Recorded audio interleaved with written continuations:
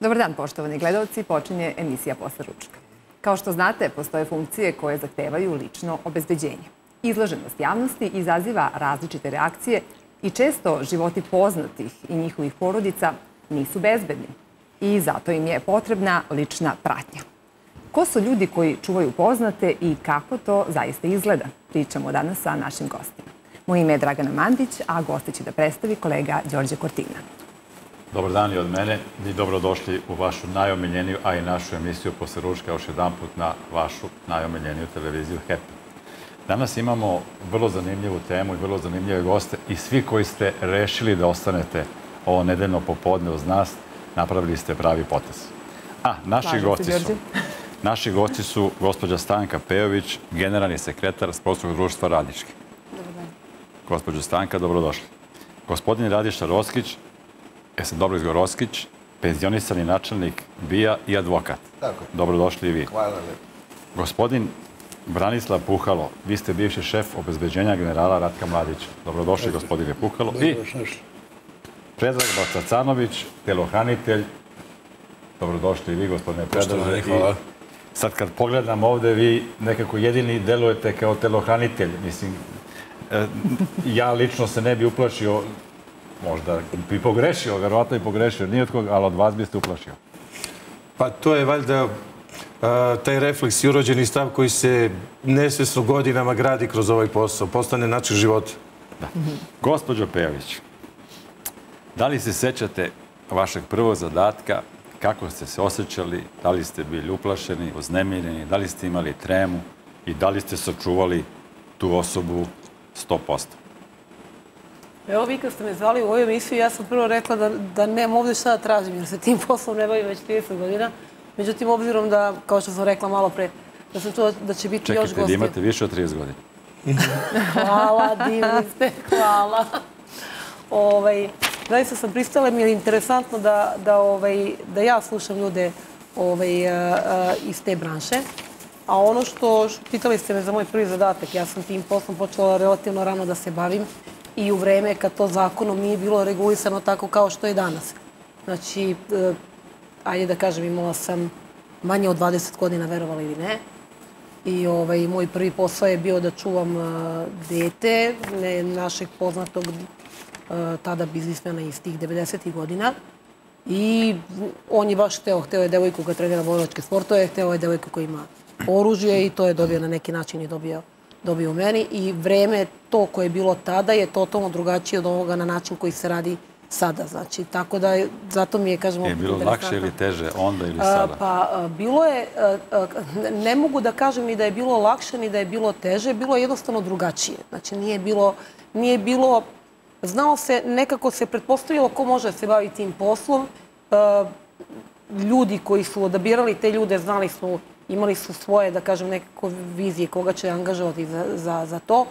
A sad je, stvarno je sad drugačije, jer ja juče kad ste me preključe, kad smo se već čuli, kad ste me pitali, ja imam dva drugara koji se bave tim poslom. Jedan je penzionisani pukovnik Saja, ima ovaj svoju zero agenciju i bavi se baš ličnom obezbeđenju, pa sam malo obavila razgovor sa njim. Drugi se isto bavi, da kažem, e, e, čuvanjem e, ličnosti i procenom rizika i svega toga radi u Valjevu E, DAV agencija, pa sam se malo iskomunicirala sa njima, pa se videla koliko ih, a oni svi, znam ih da kažem iz tog perioda 90-ih, i onda mi je bilo interesantno da napravim paralelu i razliku u stvari od tada do sada. Samo bi ja vas pitao nešto. Te 90. godine, to su bile najgore i najopasnije godine u Srbiji. Ovo danas, ovo je skoro kao da smo Švajcarska. Kako ste se vi nosili? Tad su se kotriljale glave najmanje jedna do dve dnevno po Beogradu i po ostalim delovima Srbije bolje da čutim. ja mislim, pa, ja... Da, da čutite. Da. Ovaj, ja sam se nekako uh, uh, bezbednije možda osjećala tad nego sad. Iskreno da vam budem. Zašto? Zato što se tad znalo, uh, znalo se ko je ko i ko je šta u ovome gradu. Mm -hmm. Eto, i iz tog nekog razloga mislim da, da sam se nekako uh, na neki način bezbednije osjećala tada. Sada nema mnogo, da kažem, kontakta, ne izlazim mnogo u grad, nema mnogo kontakta sa... Mnogi poznati bizniseni ljudi su tih godina bili oteti, zatvorani po nekim šaktovima, na nekim planinama. Pa mislim da se se. Plaćale se neke silne, silni otkupi su se plaćali. Ja mislim da je ovo danas stvarno med i mleko, kako je bilo onda. Pa ja mislim da se to dešava i danas. I danas? Pa ja bih rekla. A onda štampa krije to od nas. Pa nije da krije, nego to, to, tad je bilo drugačije, sad je drugačije. Čućemo, na neki čućemo i detalje od toga što Ajde, mislite o da tome. se ne bacamo E. Da, gospodin Puhalo, a, vi ste iz vojske postali član ličnog obezbeđenja a, generala Ratka Mladića. Da. E, Kako je došlo do toga? Pa to je bilo 1991. godine kad su počela ta ratna previranja u- bivšoj Jugoslaviji. Ja sam radio ovdje u Topčideru u protivterorističkoj jedinici vojne policije i mi jedan od prioriteta obuke imali smo u sastavu obuke protiv terorista imali smo i čuvanje visokih vojnih funkcionera u mjestu i pokretu. I mi smo to sve završili, uspješno završili skijanje u Bovcu, po ključu u Sloveniji, gorsku službu za spasavanje i veranje. Ovaj, I svaki dan smo vežbali, gađali sa pištoljima i razno raznim oružjem. Mi smo, na primjer, tada imali svaki dan gađanje, po jedno kilo i pol municije smo ovaj, ispaljivali što u Buben potoku, što u uh, Finskoj streljani u Pančevu kad, su došli, kad je došlo do toga rata, to je preneto prvo iz Slovenije pa u Hrvatsku, pa iz Hrvatske u Bosnu i Hercegovinu. Ja, pošto sam rodom iz Bosne i Hercegovine, tad je bilo starešine koje su rodom iz bivše Bosne i Hercegovine, išle su tamo da idu da brane svoj narod. I ja sam određen tada, Ratko je moj zemljak, mi smo iz istoga mjesta, mi se nismo poznavali. Ja sam čuo za njega, on je tad bio u Kninu, onda je došao 12. marta 1992. godine postavljena za komadanta Vojske Republike Srpske u Banja Luci na Skupštini. Ovaj, 12. maja na Skupštini ovaj, Srpskog naroda e, ja sam došao direktno po naredbi, tada još je bila jedna stvar je Savjezni sekretarija za narodnu odbranu i generalštab i imao sam naredbu da dođem u Han Pjesak u 65. zaštitni motorizovani puk To je puk koji je došao iz Zagreba u Sarajevo, koji je štitio tada komandanta druge vojne oblasti, generala, pokojnja generala Milutina Kukanjića. Ratko je premio od njega tu dužnost i ta se vojska kasnije transformisala u vojsku Republike Srpske. I tako je došlo do, Do, do saradnje. moga postavljenja za šefa obezbeđenja komandanta glavnog štaba Vojske Republike Srpske. Koliko To nije pitanje ime i prezme sad e, Ratka Mladića. Nisam ja Ratka srio nigdje u kafani ili u restoranu i da on rekao, ajde ti si moj zemljak da budeš sa mnom. To su radile i precenjivale službe bezbjednosti, obaveštajne službe i one su odredile čoveka koji je sad u tom momentu bio najkompetentniji da to radi i ta je počas mene zapala, zapala za koju se nikad neću da pokajem. E, Bilo je predivno i fenomenalno raditi sa takvim čovjekom, sa takvim komandantom i sa takvom jednom velikom ljudskom veličinom kao što je bio general Mladić. koliko godina ste proveli sa njim zajedno? Ja sam Ratka primio 15. maja 1992. godine i bio sam sve do 15. u stvari 15. februara ili 29. sad ne znam tačno, 2002. godine. ovaj, znači skoro 10 godina. Pričat ćemo i o tome veoma detaljno, a sada ćemo da pogledamo prilog Putin i telohranitelji. Videli smo dva veoma interesantna priloga o obezbeđivanju e, dva velika svetska lidera. E, gospodine Balsacanoviću, iako meni, se možda, meni je možda interesantniji ovaj drugi prilog, ali prvo ću e, na prvi da se nadovežem. Kako komentarišete obezbeđenje Vladimira Putina? Videli smo konkretno da on često prolazi sam kroz masu ljudi. Da li je on stvarno tu da kažemo, nezaštićen ili se njegovi ljudi nalaze negdje infiltrirani među građanima? Pa, Pazite, diplomatska bezbednost je najviši vrh u ovom poslu i to je najviši nivo obučenosti. Što se tiče samog predsjednika Putina kao i svih ostalih visokovojnih zvaničnika i državnika, tu posljednji posao koji neko treba da obavi su telohranitelji oko njega. Vojno obaveštajne službe, agencije, rade preventivu, čišćenje terena i tu je mnogo onih, kako vi kažemo, nevidljivih a, ljudi oko njega. Međutim, uvijek morate da budete, svedoci smo koliko se puta dešavalo propusta i onim najobučenijim i onim najiskusnijima. Uvijek morate da budete obazrivi zato što a, pogotovo kada se važna ličnost ili ugrožena ličnost kreće negde u javnosti, nikada ne znate šta može u suštini da se dogodi. Nije tu samo u pitanju njegova a, bezbednost po, po život. A, mi smo neko ko je tu da štiti njegovo i, i psihofizičko stanje i sve vezano za njega. Jer a, važne, ugrožene životne ličnosti a, također podležu pod, a, kako mi kažemo, a, onaj ljudski faktor gde su i oni često preumorni, neoprezni, zaborave se, a naučili smo i da često voli da iznenade svoje obezbeđenje tako što skrenu sa rute ili priđu nekome da se pozdrave i sve to neki faktor gde ta sekunda može da bude pogubna po vas ili poštićenu ličnost. Mhm. A kako komentarišete e, severnokorejskog lidera? Pa jeste, kao što su rekli da smo gledali prilog, oni su fanatici, ali ono što smo mi vidjeli, ono formacijsko kretanje oko auta je po meni trošenje resursa i ljudi, zato što je on već u blindiranom autu i tu uopšte nema potrebe da... A zašto oni trče oko njega? Pa ja mislim da je to ono parada, eto. I kebana. Mhm.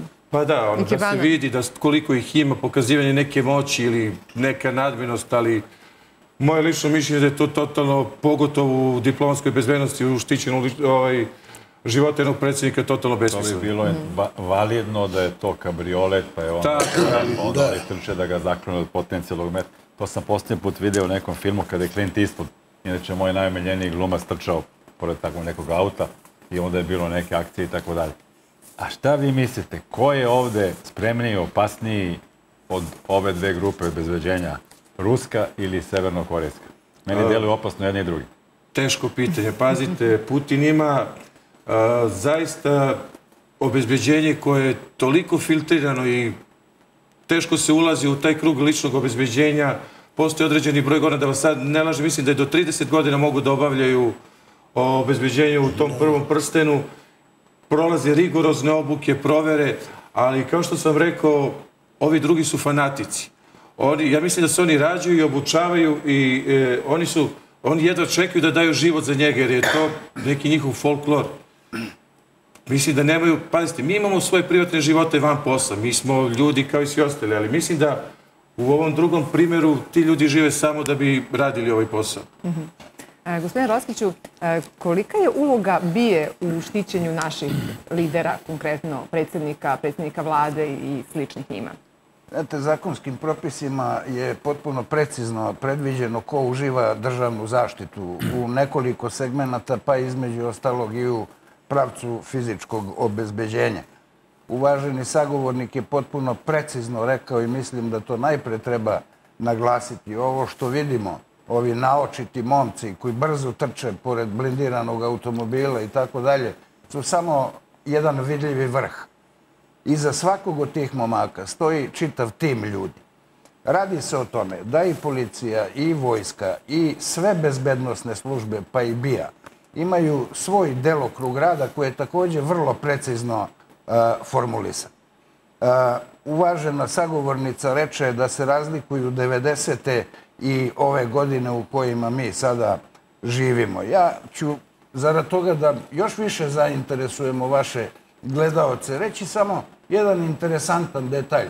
Filozofija poslova fizičkog obezbeđivanja, odnosno bezbednostnog obezbeđivanja konkretnih ličnosti, znate, se promenila, nećete verovati, 1865. godine, kad je u pozorištu, u toku pozorišne predstave, izvršen atentat na Abrahama Lincolna. Dakle, Južnjak u njihovom građanskom ratu pristalica suprotne ideologije je ispalio hitaca, pri čemu je Abraham Lincoln u svojoj ličnoj pratnji imao policajca sa izvanrednom reputacijom i čoveka od svog ličnog poverenja, ali policajca koji nije bio obučen za ovu vrstu posla. I u istom kontekstu sa vašim dopuštenjem, faraoni su imali svoje čuvare u starom Egiptu. Pretorijanci, i danas se čuje, to je, pre, to je nekom je to pretorijanska garda, pa to je dakle rimsko carstvo. Uh, u Japanu uh, Bushido ideologija je vezana bila za samuraje koji su bili čuvari feudalaca. Da vas podsjetim, prvi svetski rat nastao je nakon atentata u Sarajevu. Dakle, krupni događaji su vezani za fizičku likvidaciju ljudi koji u međunarodnom poredku ili na nivou jedne nacije i države puno znači. Šta je uloga službi bezbednosti? Pa da pruži svu moguću pomoć. Svaka od ovih akcija, mi vidimo, vidimo te zaista naočite momke koji nose naočare, onaj nosi neku torbu, raspredaju se legende o svemu tome, a zapravo je u pitanju jedan mukotrpan posao koji traje po 20 sati i više dnevno, koji zahteva od svakog izvršioca tog posla izvanrednu psihičku i fizičku kondiciju. To su ljudi porodični, ali im je porodica zaista ponekad zbog prirode njihovog posla skrajnuta. Uradimo, dakle, bezbednostnu procenu, to gospodin Puhalo odlično zna, uočimo faktore rizika, izvršimo analizu tih rizika, napravimo plan neutralizacije tih rizika, opredelimo ljude, konsultujemo takozvani bezbednostni ili kontraobaveštajni segment u čemu je uloga svih bezbednostnih službi. Prikupimo, dakle, sva saznanja koja mogu biti od značaja za bezbedno štićene ličnosti. Ovo što vidimo, svi ovi momci imaju samo jedan zadatak, da prime metak. Bravo.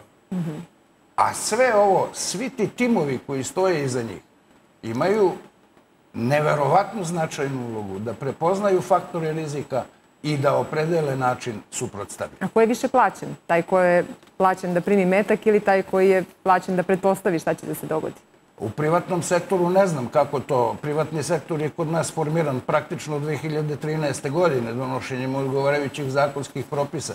Ne znam kako to tamo funkcioniše, a što se službi bezbednosti tiče te poslove, radi operativa i analitika, nikakve to tajne nisu, jel te, koja za svoj redovan rad prima redovnu platu. Ni manje, ni više nego to. I to je cela priča. Znači nema nekih beneficija specijalnih Ne, kada su... osim Da. beneficiranog radnog staža, znate.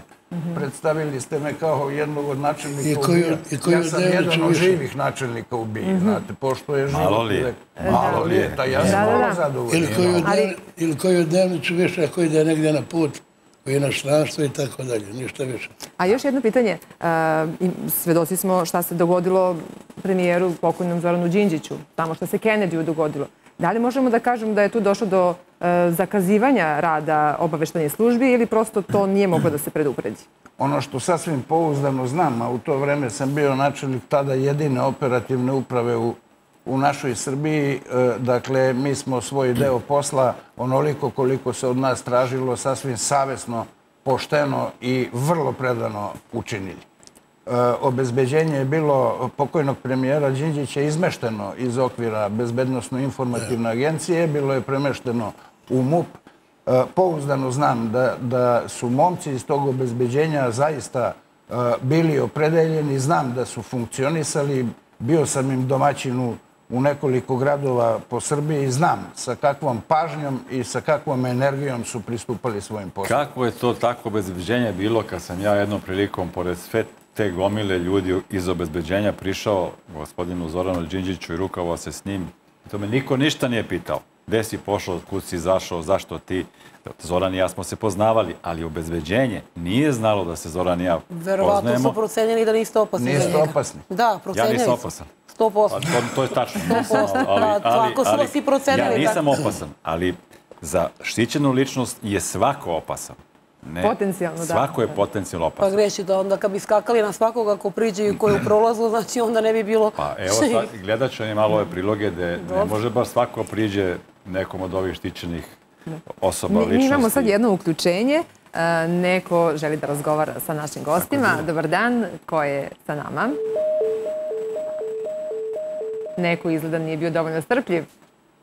Dobro, budite strpljivi u buduće, malo sačekajte i bit ćete uključeni. Dozvolite, gospodine Đorđe, samo dakle da, da vam kažem i ovo. Osim fizičke i psihičke a, odgovarajuće konstitucije, ovi momci moraju imati neverovatnu policijsku intuiciju. Znate, ako je nešto markirano kao rizik, vi ga prepoznate, ali kad je markirano u redu je, a ako nije, ako je opasnost skrivena, mora ta policijska... Mi, hvala Bogu, naši policajci to zaista imaju.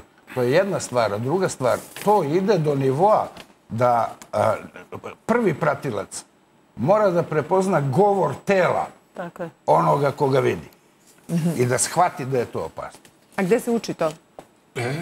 Intuicija. E, evo, da čujemo gde se, gde se uči To vam je pravo pitanje. Znate šta je najveći problem u našoj zemlji? Što svi olako shvati ovaj posao i prelako preuzimaju rizik na sebe da, da mogu da pristupe čuvanju nečeg života. Ovaj, ovaj posao je doktrina i uči se kao i svaki drugi zanat i svaki drugi posao. Pogotovo ovaj posao koji stalno Ali morate... moraš da imaš posebne talente, ne može to svaki čovjek da... Tako je. Ali pazite, morate kao što je gospodin rekao, u tom prstenu obezbeđenja postoji mnogo nas. Ne moraju svi da budu ni, ni visperni, ni ogromni, ni ovakvi, ni onakvi. A, naš posao je preventiva. I kao što je, kao što je rečeno, naš posao je nešto gde vi morate da budete zaista dobar psiholog, da procenite situaciju, da procenite trenutak, moment i da vam u suštini ta intuicija pomogne i bude deo vas i ono što će sutra da vam pre, pre svega vama spasi život da bi vi mogli da reagujete i spasite vaše klijente. Ali preventiva je osnova ovog posla. I vaša procjena. Sve se zasiva na procjene. Bi vi mene pustili da priđem Đinđiću, da, sam ja, da ste bili kojim slučajem tamo? Pazite, zavisi od okruženja, od trenutka, situacije same. Laka guža. Ali, znate kako, i to je gospodin jako On lepo rekao. To što ja nosim značku ili sam policarci ili vojnik, ne znači da sam kvalifikovan da radim ovaj posao. To je škola.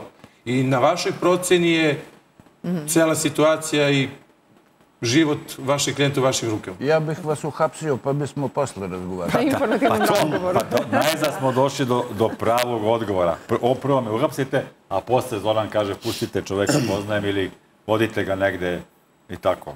Ali Da, mene niko nije upustio, mene su pustili da insistirate priđem. na preventivi, ja bih vas preventivno uhapsio. Preventivno, I- preventivno, I ja može, mislim da je to sasvim u redu.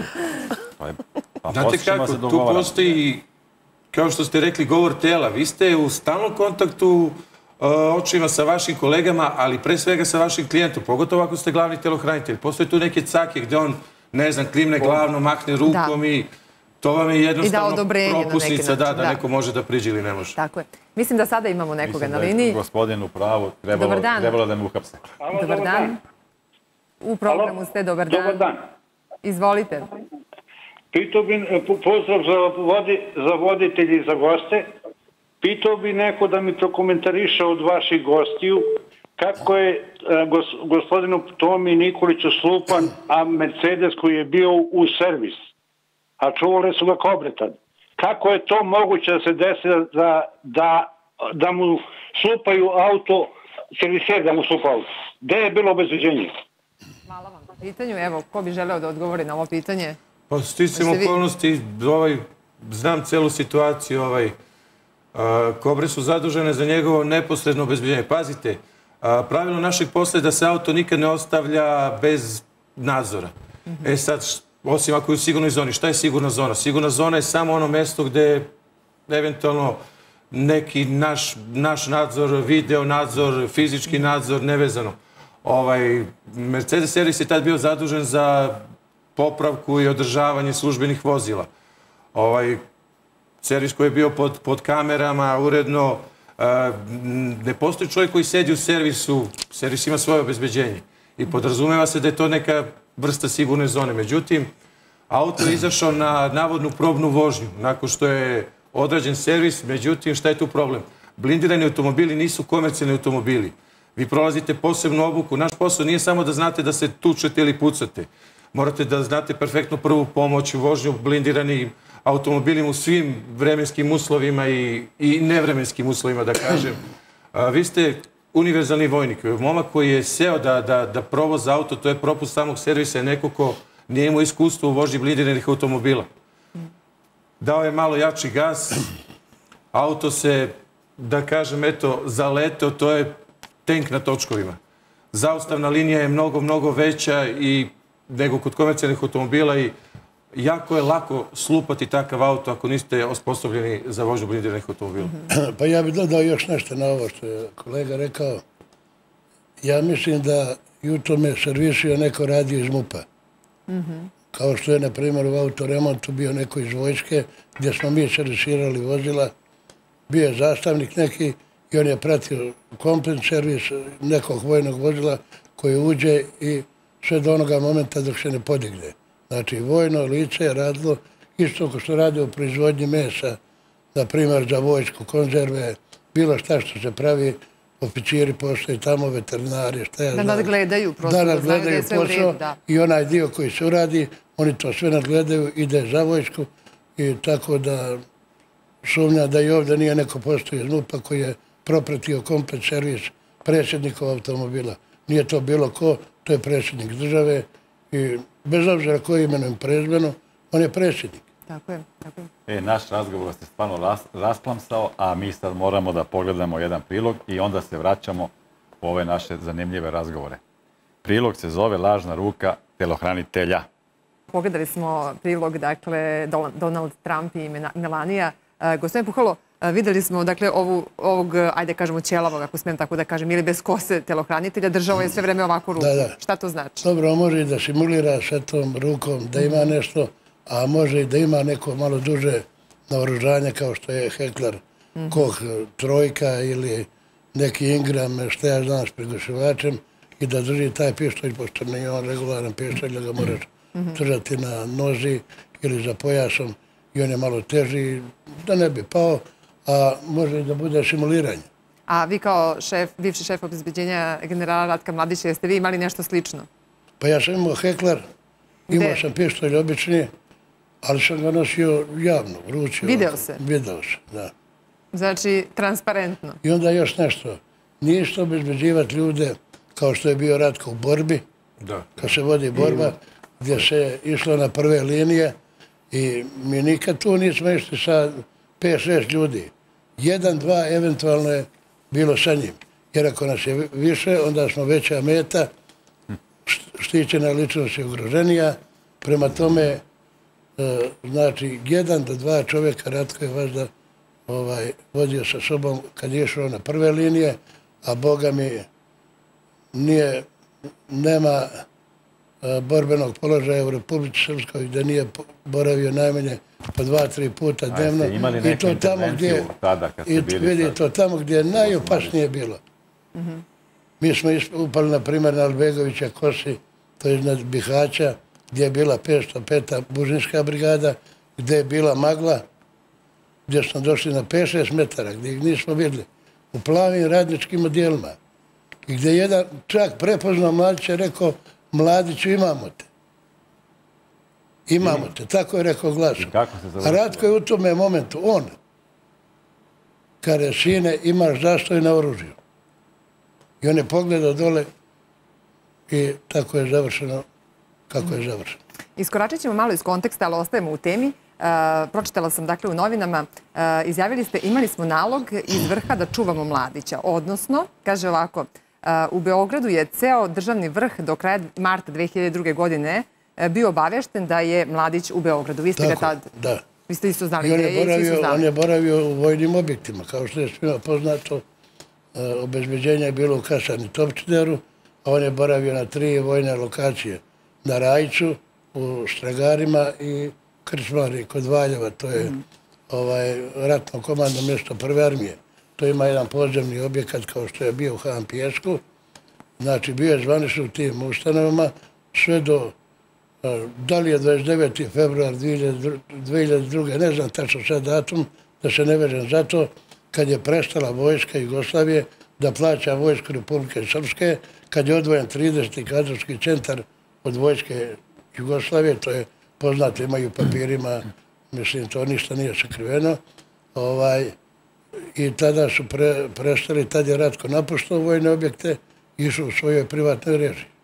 Znači, od 29. I da li je on sve vreme onda boravio, ako se ne vrame Ratkovo je selo, da li je sve vreme boravio na istoj lokaciji ili je menjao lokacije? A ne, boravio je nekad na Rajču, nekad na u Stragarima, nekad u Krčmarima, zavisi, kad je to bilo sve regularno uz...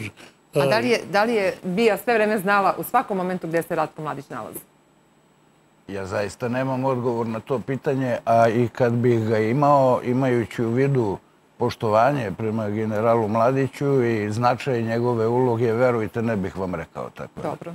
Ne, ja mislim, ja mislim, Bravo. nije cijela bija, ali dva, tri čovjeka su imali i znali su sve vreme dok nije uopšten gdje se nalazi. Jer on kad je uopšten, on je čovjek bio teško bolestan, imao je dva, tri moždana udara i on to nije mogao da sanira ovaj, u privatnoj režiji, tako da se nije puno kretao. On je zadnje dvije, tri godine bio u toj kući, znači... U Ratkovo beše selo. Da, da, u Lazarevu, kod svog rođaka Branislava Mla- Ma- ovoga Mladića. On je imao tu jednu staru kuću i jednu novu. A oni su prije godinu dana pretresali tu staru kuću, a ne u stvari novu kuću, a Ratko je bio u, u staroj kući. Tako da je, mislim da su znali cijelo vreme. Ja bi se kladio da je Bija znala, pošto Da. koliko ja znam o Biji, oni otprilike Ne- znaju što sam ja da danas doručkovao. Veći dio za ovih Ako ih zanima, čovjeka ako ih zanima, A, ali često, često ih ne Pa zanima. ja, je, ja ne Tako, znam nikoga. tako da Mladića nije mogao ovaj, Da. tada da krije. A isto i ovo kažem, da je Ratko bio zdrav, ja ne vjerujem da bi ga i danas našli. Evo mi imamo još nekoga na liniji. Dobar dan. Da li se Halo. čujemo? Dobar dan. Dobar dan. Izvolite, u programu ste. Ovaj, htio bih da kažem, uh, igrom slučaja jedne prilike uh, bio je Galjačevski sabor Čubača u Guči. Bio neki štand zastava na oružanje i ja sam onako da pogledam i pogledam, vidim čovjek mi poznat. Ja ovako gledam, on pogleda mene, kaže, izvinite, jeste vi odavde? Ja rekao, jesam. Šta vam se najviše od ovoga sviđa? Ja rekao Magnum 44 i dok razgovaram sa njim, u momentu mi vidim da mi je čovjek poznat i da je bio Ratko Mladić. I ja ga pitam, ovaj, gde ste vi, šta radite, gde živite? Pa kaže, u Beogradu sam. I tako, ovaj, raziđao smo se, a znate, bio je jedan momak koji ga pratio, tad sam ga video i posle toga igrom slučaja, još sam ga jednom video u masi onoj, nije to bilo neko obezbeđenje da se ono gure, tako je bilo neprimećeno i jedan momak je onako bio visok, nosio neku kesu koja je malo tegnula ona kesa i još jedan čovjek je bio onako srednjih godina i verujte mi, nikog više nisam, možda on imao još nekog u obezbeđenju, ali tako je prirodno čovjek izgledao i tako su oni ljudi oko njega prirodni, da uopšte nije davalo nekog e, ovako da ga neko da ga obezbeđenje i šta ja znam. Tako je bio prijatan i tako je fin i tako je bio nevjerovatno, ja ne mogu da vam opišem. I tako baš mi je bilo drago što sam ga eto video lično i lično rukovao se sa njim. Eto, toliko. Hvala, hvala vam na uključenju. Biste želeli da prokomentarišete? Pa da, bio je Ratko Guči, tad čovjeka se gospodina se ne sjećam, koji je bio prelazio je dosta ljudi i stvarno tada nije bilo nas, trojica smo bili u toj masi, smatrali smo i sigurno je tako bilo da njemu tu nikakva opasnost nije prijetila. Dakle, znali ste da, da od Znači, svog naroda neće to milion biti posto, tu mu izdat. nikakva ovaj, opasnost nije prijetila, tako da nismo ni vodili puno ljudi. A isto tako, Ratko nije volio nikad tu pompeznost neku, na primjer, da idu ispred njega sa rotacijama, da idu iza njega vozila. On je to sve svodio na naj, manju mjeru. da. Znači, jedno, eventualno dva vozila. Mi smo imali jače obezbeđenje i više ljudi u mirnodopskom uslovu nego u ratu. Njega je čitav rat obezbeđivalo šest ljudi. Samo jedno Čitav pitanje, rat. jedno pitanje, meni, meni je potrebno jedno razjašnjenje. Znači, postoji šef obezbeđenja Da, i postoji to lice koje se čuva, gospodin Ratko Mladić. da. Da li je šef obezbeđenja autonom, pa kaže Mladić, gospodin Mladić kaže jedan auto, a šef obezbeđenja kaže ne, mi smo procenili tri auta i, na primjer, 30 ljudi. Ko tu, koga mora da Pa sluša? dobro, Ratko je ovaj, bio ovaj, tu, govori mi je vaš da nemoj da vodiš puno ljudi. Ja neka spremim tri vozila, neka četiri, zavisi koliko mi bezbednostna ili obaveštajna služba daju nalog, pošto je to vojš tako, znači ljudi, operativci koji rade, koji pripremaju, ako ti dođeš na lice mjesta to gdje je opasnost, to, ma, tu ne može fizičko obezbeđenje puno. Je li vas slušao Treba- gospodin Mladić kad, Pa- kad ste ga ispravljali u tim Da, njegovim kažem, primjedbama? ovaj, u par slučajeva, a većinom nije. Većinom nije dobro. Uh, gospođo Puhalo, um, pardon, izvinjavam se, gospođo Pejović, što je gospodin Puhalo, pa sam se ovaj, Gospođa. Pejović, Da. Pejović. A, vi ste, rekli ste da ste čuvali decu od poznatih, je li tako?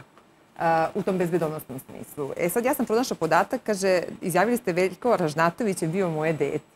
Dakle, on je dolazio, kaže ovako, dolazio je kod mene na treninge, sa njim sam imala specijalnu povezanost i ja na njega gledam kao na svoje dete. Dakle, sarađivali ste s njim i jeste vi njega i štitili, čuvali ili ste samo radili sa njim? Ja njega znam bukvalno iz momenta kad je izašao iz stomaka, zato ga i smatram svojim prvim detetom, jer bukvalno ga znam od momenta kada, kada se rodio.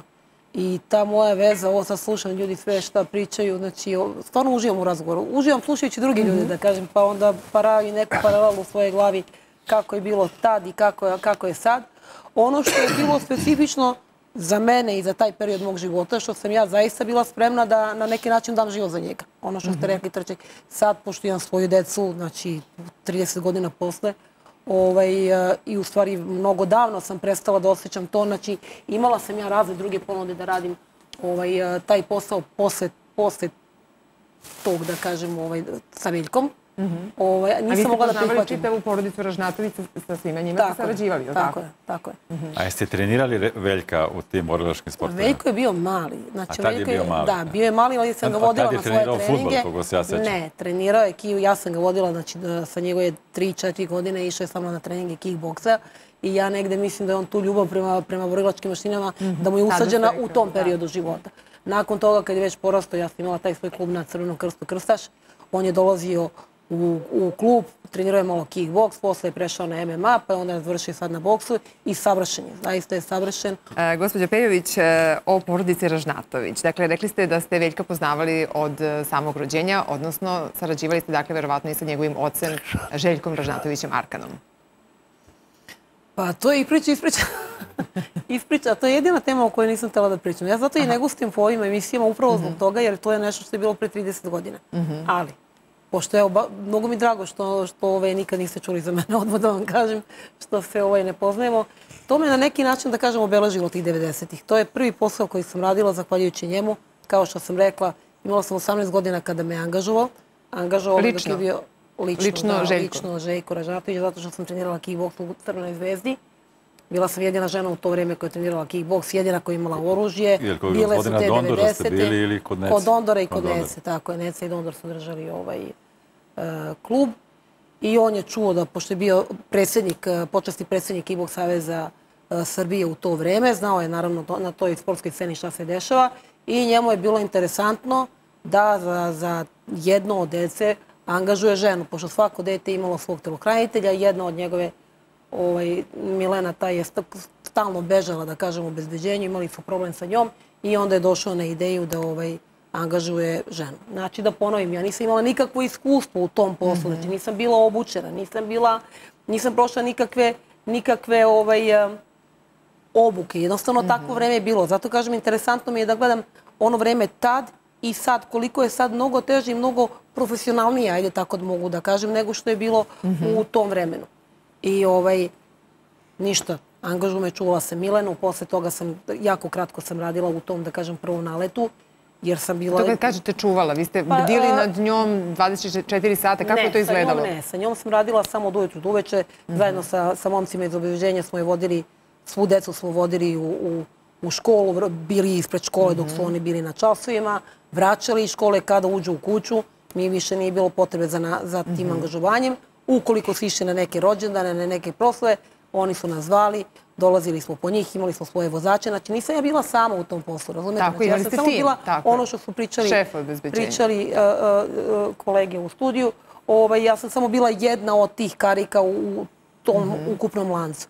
Uh, ja lično zaista se nikad nisam osjećala ugroženo i, i, i na neki način zaista mislim da je bitan tim sa kojima radite i ono što je broj jedan u tom poslu je lojalnost. Lojalnost je broj jedan da ne cure informacije gde vam klijent ide, kako se, znači, znaćete već vi o čemu, o čemu pričam. I ovaj, jednostavno posle tog nekog posla ja sebe više nisam videla u, u toj strukturi posla, otišla sam u nekom uh, drugom pravcu, ali definitivno mi jeste na neki način um, Obeležilo, obeležio, jer me ljudi posle 30 godina, ja kažem, na neki način povezuju za tu priču. Ja volim da kažu, evo je, Stanka Pejović, generalni sekretar Sportskog društva Radnički, spasila jedna je od ljudi koja je uspela spasi Sportsko društvo Mi Radnički. kuvari To bi rekli da je na- najvažnija, najvažnija priprema za dobro jelo, tako da je najvažnija priprema pre nego što se krene u aktivno čuvanje, kako sačuvati tu ličnost. Evo da vam ponovim, imala sam 18 godina.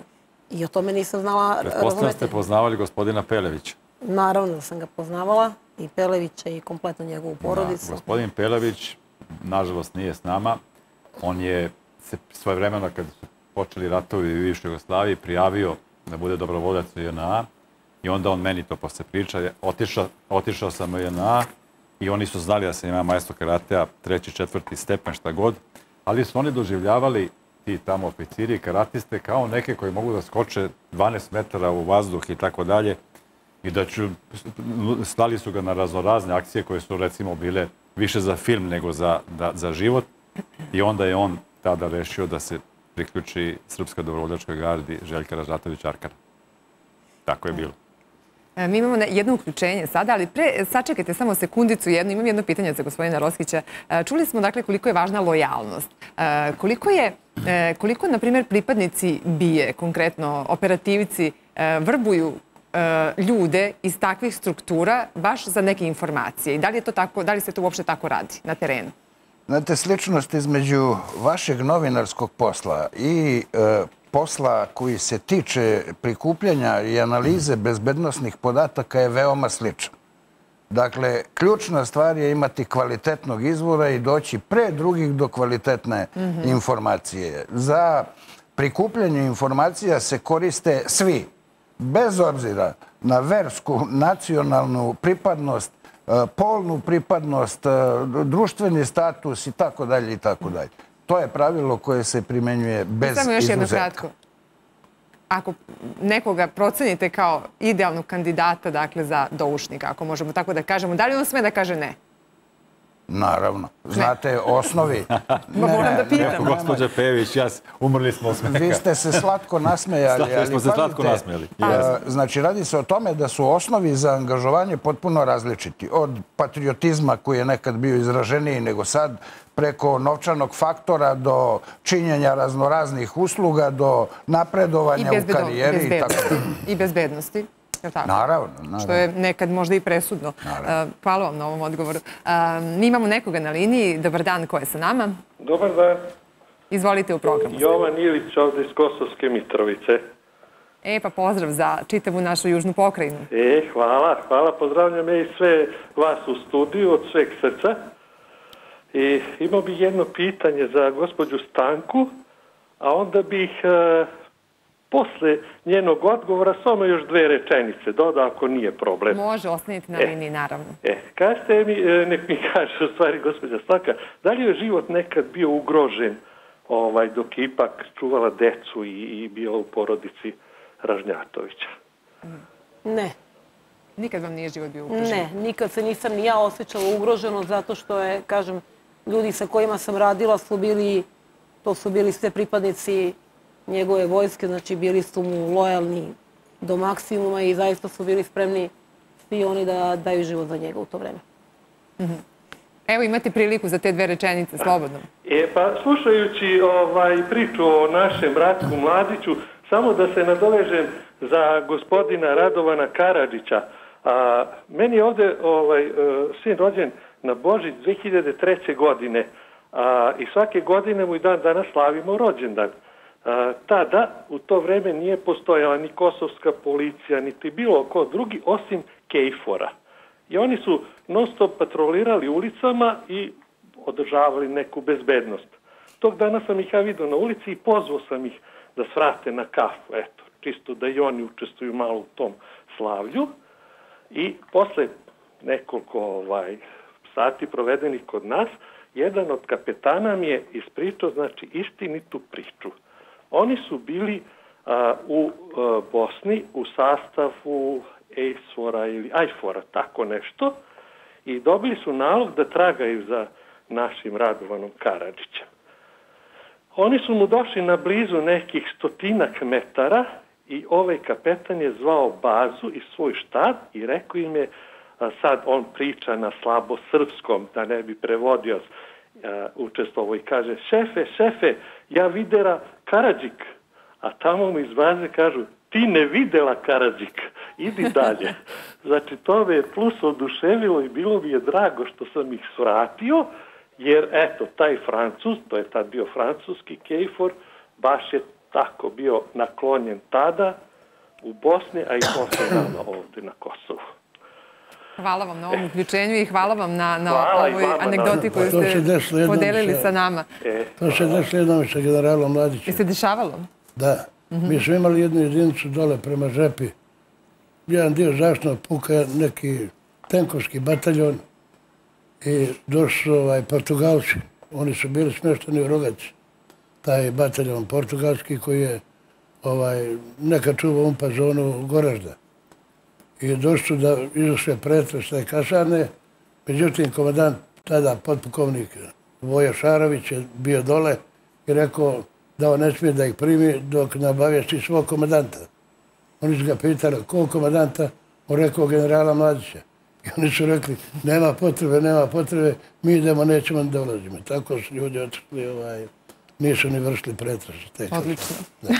Odlično po E, a sad generala. ćemo da pogledamo još jedan prilog. Radi se o Mesiju i njegovom telohranitelju. To je vrlo zanimljiva priča. Posle ćemo to naravno da prokomentarišemo.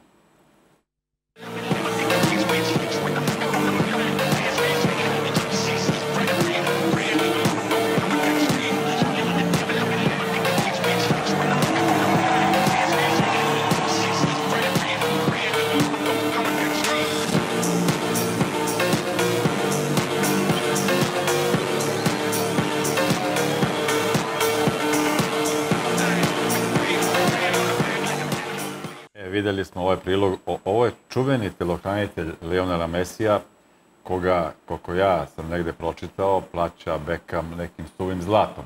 Znate li, gospodine Baltasanoviću, koliki je njegov honorar plata, šta god? Ja sam čuo su to neke stotine hiljada dolara. E, Da, pazite, Evropa što se našeg posla tiče, ono, manje više isplatio. Međutim, e, u svetu, pogotovo Amerika, prosječna plata jednog telohranitelja, da kažem običnog telohranitelja koji nema neku odgovornost, niti je vođa tima, niti je glavni telohranitelj, je nekih 15.000 dolara. Šta je prednost u svetu? Što vi radite godišnji ugovor. Kod nas se to angažuje po potrebi, na dan, dva, na tri, i čim se osete bezbedni, misle da je to to i vi ste im neki trošak. U suštini oni su bezbedni zato što ste vi tu. Ali u svetu ljudi koji plaćaju telohranitelje, obezbeđenje, znaju zašto to rade. Rade sa svrhom, ne da se manekenišu, ne da budu viđeni, ne da budu eksponirani. I jako cene u suštini svoj život. Jer zadovoljni telohranitelj je neko ko će zaista da popije metak za vas. Ne razmišlja o tome da li mu je porodica obezbeđena, da li može sutra nešto da se desi, da li će neko da stane uz njega ako bude povređen, ranjen ili bilo šta drugo. Ja čuk da ovaj gospodin zarađuje 250.000 dolara nedeljno. Pazite, ovaj, s obzirom da odigra sa njim svaku utakmicu i zaslužuje te pare. Inače, Pa to, to je, opet da nastavim malo tu priču, neću više, to je Beckham insistirao da on bude pod stalnom zaštitom. A to je se pre svega zaštita od obožavatelja, nije to tako. Jeste, ali evo recimo po meni mi, ima vi- više tih kadrova gde ovaj e, kolega uskače tu, ali pazite, tu je, ajde da nazovemo ono obezbeđenje koje je regularno na terenu. Međutim, sumnjam da je samo on u pitanju tu, jer teško da on može da pokrije ceo stadion, znate kako se kreću igra- igrači, o, igrači dok igraju futbala, a suludo je da ovaj pretrčava teren u toku Ja utakmice. sam ga gledao na nekom klipu kako pretrčava teren brzinom Huseina Bolta kada je trebalo da skoči na nekog ko je krenuo na Mesija. Verujte mi, ne- neviđena brzina. Ceo teren fiu i na čovjek. Tako da ovaj verovatno zna zašto je plaćen tako dobro. Da, pa da sigurno zna. To je... Dobro, ja se, ja se možda manje razumem u futbol, Đole, od tebe, ali, ali pokušat, ću, pokušat ću da postavim jedno pitanje. E, Da li su sportisti negde e, možda malo e, ne toliko strogi kada su ti obožavaoci u pitanju, kada im prilaze, dolaze? Vidjet ćemo naprijed neke klipove, video linkove i klipove, dakle, o tome kako kad su glumci, pevači, oni su mnogo nekako veći gardi imaju, a čini mi se da su sportisti malo blaži u tom nekom smislu. A, Bez obzira na to čime se klijent bavi u suštini, to zavisi od osobe do osobe. Imate zaista one javne ličnosti kojima je na neki način muka svega, celog tog života. Najčešće postavljeno pitanje kod nas ko će njega, ko će nju, šta će njemu. Kao što sam napomenuo, mi smo tu da sprečimo psihofizičko maltretiranje. Znači, čim ste javna osoba, vi ste na neki način izloženi riziku obožavaoci, da li su oni dosadni, da li su možda fanatici, da li bi neko Svako sebi da za pravo da vas povuče za ruku, da se slika sa vama, da popije piće sa vama. Tako je, bravo, to, to mi je sad bilo na pameti ovaj. A, tako da je to ne, u suštini to je neka preventiva, to je kultura kada ste javna ličnost u pitanju, ali to da li oni vole kontakt sa, sa, sa ovaj, sa fanovima ili ne, to zavisi od osobe do osobe. Mislim da nema nešto generalno ovaj, veze sa tim čime se neko bavi. Nema. A da li štitite i to da neko nekoga ne fotografiše, na primjer? A, da, imate, To, to, to pa, su isto, to su sve to zavisi od, zahtjeva same klijentele. Imamo klijentelu koja ne želi da ih fotografišu određenim, na određenim mestima, određenim javnim objektima. Imamo klijentelu koja jednostavno ne želi da, da bude viđena uopšte tu. A, A kako to regulišete konkretno? Prolaze ljudi, znači neko izvadi telefon i šta sad? I fotografiš. E, vidite, imamo, imamo, e, mi već par godina radimo diplomatsku bezbednost na Sardini, gdje čuvamo jednu predsjedničku porodicu, naš srpski tim sa italijanskim timom i sa članovima tima porodice koja dođe. Ovaj, a, Ja vam čestitam na tom. Da, ipak je to. Italija. To je Da, ovaj, pazite, nevezano za za stranu zemlju, vi ne možete u Novom Sadu ili u Nišu da odradite posao kako treba ako nemate nekog svog. To je druga teritorija, drugi mentalitet. Tu morate da budete umreženi i povezani. I recimo, tu dolazi baš do tog problema. Vi nemate službeno ovlašćenje, niste policiju, niste vojska, ne možete da presrećete ljude, ne možete da, da im otimate telefone, da, ali, kao što smo pričali, preventiva. Trudimo se da klijentela sedi u e, nekim uglovima, ćoškovima ili da izlazi na mesta gde nije toliko eksponirano. I u slučaju da vidimo da baš neko sad namjerno ili ciljano e, fotografiš ili snima, priđemo, zamolimo da to ne radi i to tako Ne rešamo. uzimate telefone da brišete Pa fotografiju. Nemate, nemate zakonskog prava, Pa ali da vam kažem nešto, kada se pojavi neko poput mene, poput nekog od kolege, ljudi slabo diskutuju, ne raspravljaju baš puno. Dobro, dobro. Ovo je bilo od srca. Đole, imamo jedno uključenje još, je li tako? Da, da, ajde, izvolite. A, Dobar dan, ko je sa nama? Dobar dan, Čikapera ovde. Izvolite Čikaperom. Hteo sam da Program. pitam vaše, go, hteo sam da pitam vaše goste koliko su važne i šta se obavlja u mesecima pre dolaska nekog važne ličnosti, ono što su ga obezbeđuju na ulici, pri prolazu i tako na nekom sastanku, skupu. Važne su one pripreme koje traju mesecima pre toga i šta se tu obavlja u tim pripremama. Evo, hvala vam na pitanju. Ovo Ja znam, za, ja znam za jedan slučaj kad sam učestvovao u pripremama za dočak Gaddafija, pa je to bilo interesantno kad smo mu postavili neke kutice u zaštitu od insekata u Beli dvor, a njegovo obezbeđenje koje je došlo pre njega, pronašli su te kutice, a one su bile namenjene da ga štite od nekih insekata. Pošto je na kuticama pitalo, made- pisalo Made in USA, nikako nije on želeo tu da opstane i da boravi tu, nego je otišao u Dobanovce sa svojom kamilom. Hvala vam na ovom iskustvu što ste podelili sa nama. Evo, ovo je pitanje za vas. Da, i e, dobro je da je to pitanje postavljeno e, prosto da bismo sagledali i ove preostale ili ostale segmente rada eh, u izvršavanju ovih poslova. Dakle, eh, aktivnost državnih organa, pričamo o posetama državnika, je tako, počinje onog trenutka kad eh, je do nadležne jedinice za obezbeđenje na odgovarajući način diplomatskim kanalom pa preko vlade i ministarstva unutrašnjih poslova, dakle to najavljeno, tog trenutka a, se počinje sa pripremama za taj doček a, i za obezbeđenje tokom celokupnog boravka. A, Stupa se u kontakt sa službom bezbednosti, odnosno nadležnom jedinicom za obezbeđenje tog stranog državnika, ostvaruju se neposredni kontakti, sagledavaju se eventualni specifični zahtevi kad je u pitanju obezbeđenje te ličnosti, kreće se odmah sa takozvanim prethodnim radom. Dakle, eh, u poslu fizičkog obezbeđenja na državnom nivou postoje prethodnice. Postoji program posete. Svako mesto na koje će na ličnost izaći, biti, nalaziti se, razgovarati, kretati se, to kretanje je posebno važno jer po oceni svih ulazak u prevozno sredstvo, boravak u prevozno sredstvo, izlazak iz prevoznog sredstva su zapravo najkritičniji momenti. A ta prethodnica podrazumeva dolazak, dakle, protokola, pretpostavljamo, te, te I neke protokol ličnosti. i odgovarajući pripadnici obe službe bezbednosti. Dakle, idemo, uh, strani gost će posetiti taj i taj restoran, istog momenta prethodnica odlazi, izučava sam objekat, izučava rizike, dakle, od uh, rasporeda prostorija, preko rasporeda prozora, preko načina kretanja kroz objekat i tako dalje. I koliko je tu potrebno operativaca da bude, ako je restoran u Skadarliji, na primjer, u pitanju, pošto smo imali te situacije? Operativci iz neposredne prethodnice ne mnogo. Obično po dvoje, troje. Ali e, operativa koja će se gledavati okolinu, dakle ne obezbeđuje se samo objekat, nego i je. prostor na kome štićena ličnost boravi. Zbog čega? Pa zbog mogućnosti da iz daljine neko nanese zlo, ispali metak i tako dalje i tako dalje. Sve se te tačke markiraju i pokrivaju u toku same posebe. Imamo i takozvanu e, medicinsku zaštitu koja podrazumeva biološko-hemijsko istraživanje. Dakle, strani gost mora jesti pouzdano, mora mu se poslužiti hrana koja je proverena, piće koje je provereno i tako dalje. Ako proverava sve to? Ja sam se, Specijalizovane ja ekipe. sam se dugo bavio gostiteljstvom i nikad nisam voleo kad bi trebalo da mi dođe štićena ličnost u restoran. Jer ti neki službenici su dolazili dan, dva ranije, turali, njuškali tamo po kuhinji, ovde, onde, proveravali. ra- Vrlo neprijatno. A još gore, kad mi napravimo takvu pripremu, a štićeni gost ne dođe. Ne dođu u Tako da nisam voleo da mi dolazi. Ma to se dešavalo većinu puta.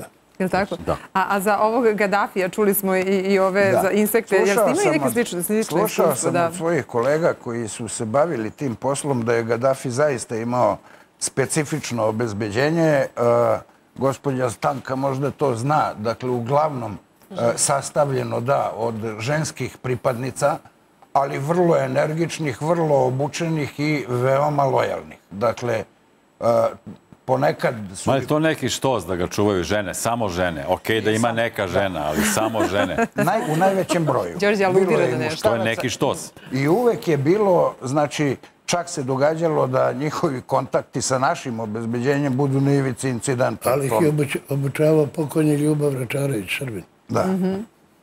Pa da, moguće. Mi imamo još Sve nekoga na znamo, liniji. ali- E, dobar dan, ko nam se sada javlja? Sam, sam to ja možda na liniji? Alo, Čujemo vas veoma dobro.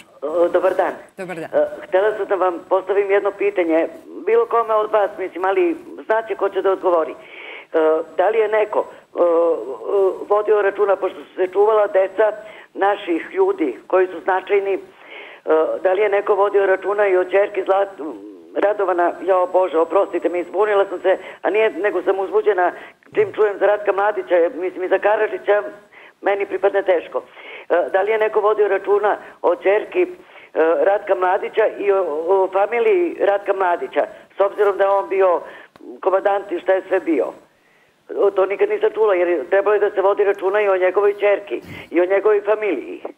I da se pomogne maksimalno koliko može. Da. Hvala vam. Hvala vam na ovom pitanju. E, mi svi znamo da je čerka Pa, Ratka Mladića, ovaj- dakle, Ratko nije, Nije nije, imao, da. nije imao obezbeđenje ni supruge, ni sina, ni čerke. Oni su živjeli ovdje u Beogradu. Kako je to moguće da nijemo obezbeđenje? Tako je, nije, nije on hteo. On nije hteo. Da, da, nije izričito je bio protiv toga. E, onoga momenta kad je pokojnjana ubijena, onda su postavljeni ljudi na kuću da obezbeđuju kuću. A suprugu i sina, kad bi se kretali po gradu, nije niko išao To smo da- pričali malo pre. Ne može on da odluči, ne, nego ne, znam, vi ste na, može, da, ali za to To je tako nadležni. bilo. To u novije vreme nije ni pre bilo da su političari, da su im sva djeca bila št- štićena. ja se izvinjam, vrijeme rekli je ste, je e, samo moment, rekli ste, znam. čerka Ratka Mladića je bila ubijena. U medijima je pisalo nađena je mrtva u stanu. Ja E, O mislim, čemu se ja tu mislim radi da ona zapravo? ubijena, ja ne bi puno o tome da raspravljam, ali... Samo je Su- je- postoje ne, ne, neki- Sigurno Sujići nije, Nije. ostalo zna onaj ko treba i Da li ko se gospodin Mladić ikad oporavio od, od tog, od tog A događaja? jes, on je jak čovjek i čvrst čovjek, ovaj, on svoju ranu i svoju tugu nosi u svom srcu. Oni su čak htjeli da mu pripišu da za to što se desilo, desilo u Srebrenici, da on bio besan zbog smrti svoje čerke. To nije nikakva, to je, to je notorna laž. Ratko je važda bio pribran po pitanju donošenja odluka, kad je u pitanju vojska i upotreba vojske. Uh, Ratko je bio jedan oficir, vitez. Nije on nikad dozvoljavao, ja znam, eh, mnoštvo puta je generala Tolimira kad bi čuo da se u nekim logorima gdje su bili ti zatočenici desi nešto prebijanje ili bilo šta, on je to kritikovo izrečito i rekao Tolimir da se kazni. On je zatvorenika cijenio, poštovo, vas da je govorio, treba se držati ženevske konvencije, lako je šamarti udati sve žana čovjeka. Uzmi pušku na, na liniju, na front, rovti, rovmi i tamo budi vitez. A lako je sve za čovjeka i na njih se skalja, ovaj, kaliti i koje kakve gluposti praviti. To Ratko nije dozvoljavao, ali oni su eto, htjeli da mu to pripišu, nažalost, i pripisali su i osudili su ga ovaj, sad u Haškom tribunalu na doživotnu robiju. Da. Čovjek koji siguran sam nijednog momenta ni državno, ni vojno rukovodstvo nije naredilo streljanje ljudi u Srebrenici, onih zarobljenika. Većina je njih eh, pobijena prilikom prebijanja, koji nisu htjeli da se predaju, jer znajući pre toga šta su radili u Kravici i oko Bratunca, oni su pobili negdje oko dvije, dvije i po do tri iljada ljudi Srba po tim okolnim selima oko Bratunca. I oni su znali koje su ovaj gluposti radili i koja zlodjela i nisu smjeli da se predaju. I onda su išli pod oružanom borbom da se prebace na područje Tuzle ili Kladnja.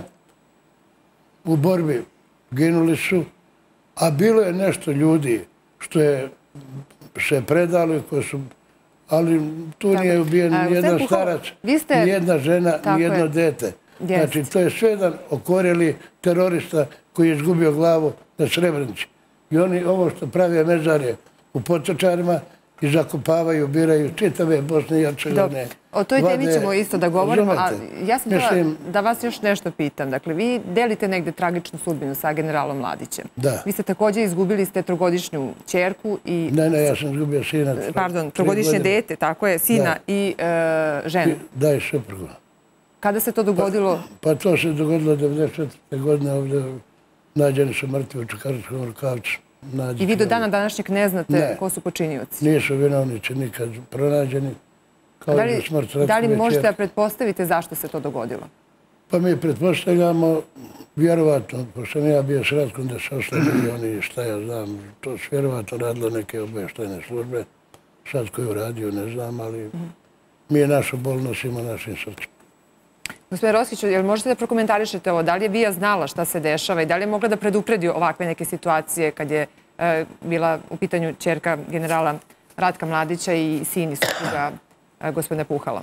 Ja vam ne mogu reći ništa više od onoga što je zvanično saopšteno. Dakle, e, znam da je zvanično saopšteno, da je u pitanju samoubistvo, suicid, da li je to tako ili ne, ja zaista ne znam a zasigurno znam da se ovaj bija istragom te vrste prosto nije bavila. Nije se bavila. Da. E, nego recite vi me... Da li je trebalo da se bavi? Šta mislite?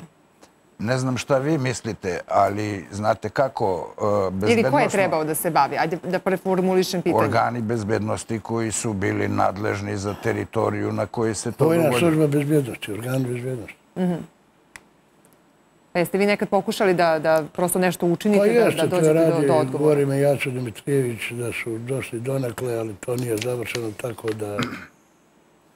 I mislite da je to, da ta, tako može da se ostavi, da to prosto može da, da se pa, zakopa? Vidjet ćemo, na tome se još radi, ali vidjet ćemo šta je. -huh. Ali je teško, puno je godina prošla. Dobro, mi sad idemo na još jednu temu. Imali smo Mesija malo pre, pa ajde da pogledamo i Lady Gagu i njene telohranitelje i kako to izgleda na terenu. Videli smo ovaj prilog. Gospodine Baltasanoviću, da li telohranitelji nekada i preteraju? E, ne. Pazite, razlika kao u platnom sistemu između nas i sveta je i razlika u ovlašćenjima koja telohranitelji imaju u svetu i kod nas. Kod nas nemaju skoro nikakva ovlašćenja. To je sve na nivou nekog FTO zakona koji nije ni dovoljno jasan, ni dovoljno regulisan, ali u svakom slučaju govori se o recipročnosti, da možete samo da odgovorite silom uh, recipročno sili napada, ali uh, u Americi recimo vi imate ovlašćenja poput službenih lica i ovo je sasvim ispravan postupak, jer vi ovdje ne možete da vagate zašto je on jurno na nju možda da baci kiselinu, da je ubode nožem ili samo da uzme autogram i sasvim je opravdana reakcija. Duše, on je imao papir, ali, kažete, ne zna se tačno zašto. I on je imao fotoaparat koji u Americi što je izvršio tentat na... Pomenuli ste da, da ne može da petera telohranitelj. Bio je jedan naš, vi ga verovatno znate, gospodin Voja Krstarica, koji nažalost više nije s nama. Ja, jako onako, on je čovek, on je pokušao da pravi karijeru u Americi, glumačku i nešto je napravio, snimao je nekoliko filmova, nešto sa Van Damom i tako dalje. Voja Govedarica. Voja Govedarica, mi smo ga zvali Voja Krstarica, a Voja Govedarica je prezime. I one, njega je, to je moj jako- zemljak. njega je zavoleo Stallone, šarmirao ga je i Voja je postao telohranitelj gospodina Stallone. Međutim, u nekoj situaciji, negde na nekoj ulici, neki lik je iz drugog automobila tamo nekog počeo da vređa Stallone, a proziva ovamo namo i Voja onako po našem starom srpskom običaju šta ti meni ovo ono priđe i odvali mu šamar. Stallone je imao ozbiljnih problema zbog toga. Platio je neku kaznu, vamo namo. Nažalost, otpustio je e, Voju Krstaricu. To koliko ipak mora se vodi računa o granici koliko može i kako može telokranite da reaguje. Jeste, ali opet tu dolazi do recipročnosti. Ako vas je neko verbalno vređao, vi ne možete sad njega sekirom u glavu. Ovaj, morate, postoje tu neke osnovne zakonske odredbe. Međutim, a, problem sa javnim ličnostima, pogotovo sa, sa tim nekim mega zvezdama, da li iz filmske industrije ili muzičke, je taj što oni ne vole takvu vrstu publiciteta jer negativno utiče na njih, na njegove život, njihove živote, na karijeru i tu se opet koplje lobi na vama, jer vi mora da budete gospodin uz gospodina koga obezbeđujete. Vi u suštini njega predstavljate u javnosti. Zato mora, naravno, da postoji neka doza i, i kulture, i prisebnosti, i pogotovo načina na koji reagujete u zavisnosti od situacije, ali najviše od toga od mesta na koje reagujete. Stallone mora da plati tom oštećenom, ne znam koliko para bilo u pitanju, pretpostavljam nije, kako god je bilo za Stallone, a nije Bog zna šta, hvala mu Uvana Međeda. Nego, malo pre ste pričali i o tim javnim, poznatim, štićenim ličnostima. Bio je jedan slučaj sa Stevenom Spielbergom, kad je on bio sa ženom negde van te njegove kuće vile i pojavio se neki lik koji je hteo da ga sodomizuje levo, desno, šta god je hteo, ali je tu bio čuvar i telohranitelj koji je tog lika nešto bio povredio, načinio ga invalidom i tako dalje i on je naravno oslobođen. Tako da svi ti, svi ti tako poznati koji su eksponirani, a imaju para, ja mislim da bi trebalo ipak da imaju odgovarajuću zaštitu. Jeste, ali opet eh, dolazimo do toga, Amerika je zemlja koja ima jako čudne zakone i variraju od države do države, a sa druge strane, opet, a, zamislite razliku između mentaliteta Amerike i nas. I sada a, postoje zemlje gde je ok uvreda. A, Tamo gde radite, u odnosu na podrebe gde radite, na zemlju gde radite, vi morate da poznajete kako zakonsku regulativu, tako i zakoni su u suštini bazirani na nekim verskim stvarima, na, na religiji, na svemu tome. Morate da budete jako upućeni u to šta su vaša ovlašćenja, šta nisu, šta je, šta je kriterijum koji može da se preštani, šta je granica koja može da bude kritična po vas, po poslu, po vašeg klijenta. klijenta. šamar u ovome što je vređao Stallonea. Ali možda mu je razvalio vilicu. Pa, i vidite, u Americi i na zapadu to drugačije funkcioniše. Da, da. Može da se dere, može da viče. Teret javne ličnosti moraju da nose, zato su javni. Znači, svako ima prava da viče, ne sme niko prava da ga dirne, Jedino ako nije imao da ga fizički pljune, kontakt. Da, ovo- Da, ali znači, sa- fizički nema prava, a strane ovako sme. bi zakonskom regulativom treba da odgovara telohranitelj, a ne Stallone. Da, ali- odgovaraju telohranitelj, ali Stallone je podneo veću, da kažem, veći tovar tih kazni. On je otpustio Voju staricu i lišio ga nekog sigurnog i solidnog prihoda. Tako da su to svi odgovarali, ja ne znam baš detalje, ali znam da je Stallone bio jako ljud zbog te reakcije našega čoveka. Evo, mi imamo još nekoga na liniji. E, Dobar dan, ko je sada sa nama? Halo, dobar dan, ovdje je. Dragan, okolina Kruševca. Izvolite, u programu ste. Pa evo, pozdrav za sve u studiju. Hvala. Čujemo vas. Pa da, evo, imao sam prilike da se upoznam sa gospodinom generalom, ono ratno vreme, 94. godine. Bio neki zastoj u saobraćaju tamo i nedaleko od kamp Pjeska, zimsko vreme. Čujemo vas. Možete Inače slobodno da sam nastavite. profesionalni vozač u to vreme bio. Izašao je čovjek, naišao je zeleni puk, vozač i dva vojnika i general izašao, pitao je momci kakav problem. Običan čovjek, kao da je sa nama, kao da smo mi sa njim živjeli. Promenili Ja vas samo molim da utišate televizor, da ne biste slušali vaš ton u pozadini, tako da, da možemo promenili lakše par da reči, razgovaramo. tako, eto, taj neki moj doživljaj od kan pjeska. Mhm, ok. Eto, teo bi samo toliko da kažem da je jako prijatan čovjek u ono ratno vreme, znači, što slušamo priče o našim starim vojskovođama, da je pravi čovjek iz naroda. Da li imate neko pitanje? Da, imam pitanje za gospodina iz Republike Srpske. Obezbeđenje, šta mu je najteže u tokom svoje službe bilo, koja mu je neka obaza, šta mu najteže bilo u, u, u svojoj U svojoj službi i obavezi karijeri. prema funkciji koju je vršio prema generalu. Hvala vam na pitanju. Pozdrav, doviđenja. Izvolite, doviđenja. Pa nije mi ništa bilo teško, tad sam bio ovaj, dosta mlađi, dosta, ovaj, bilo je tih strašnih trenutaka gdje smo upadali u prvu liniju pod neprijateljsku vatru, bilo je gdje smo po noći vozili gdje jedno smo upali u neku zasjedu. Mislim, neki, nešto posebno da izvojim to ne mogu. Bilo je toga dosta, tako da ovaj, to su bila borbena dejstva. To je tad čovjek drugačije primao. Ovaj, to nije bilo toliko strašno koliko je sad kad gledaš iz ove pozicije. Ja i danas znam li kad idem preko Romanije ovaj, po noći pogotovo, to je na primjer kilometri, kilometri, ona brda, to nije niko mogao da obezbedi, kakva vojska. Tu su mogli diverđanti dobri da svaku veče e, prave diverzije i da ubijaju nekoga na putu. To znači sam nas je Bog spašavao ako smo se kretali u dva noći, u tri noći, u četiri noći. A za ovo što je rekao da je Ratko, Ratko nikoga na putu nije ostavio. Znači, auto u kvaru, stani, izađe se, čovjek se ponudi pomoć, šta može ako je sletio s puta, mi svi izađemo da ga izvučemo na put, da mu prevezemo, na primjer, dešavalo se ide majka sa djetetom. I on stane, gospođo, gdje ste bili? Bila sam kod lekara. Tad nije bilo autobusa, tiko što je bilo pre. Gdje idete? Gdje je vaše selo? Pa imam nekih 7-8 km od puta. On kaže vozaču, mi ćemo izaći, idemo peške, sjedi gospođu, odvezi je, stigli nas i mi sad idemo putem i ne laže druga vozda, i prepoznaju Ratka. Sad im ništa nije jasno. I ljudi sta, stanu da vas povežemo, generale. On samo kaže, prolazi.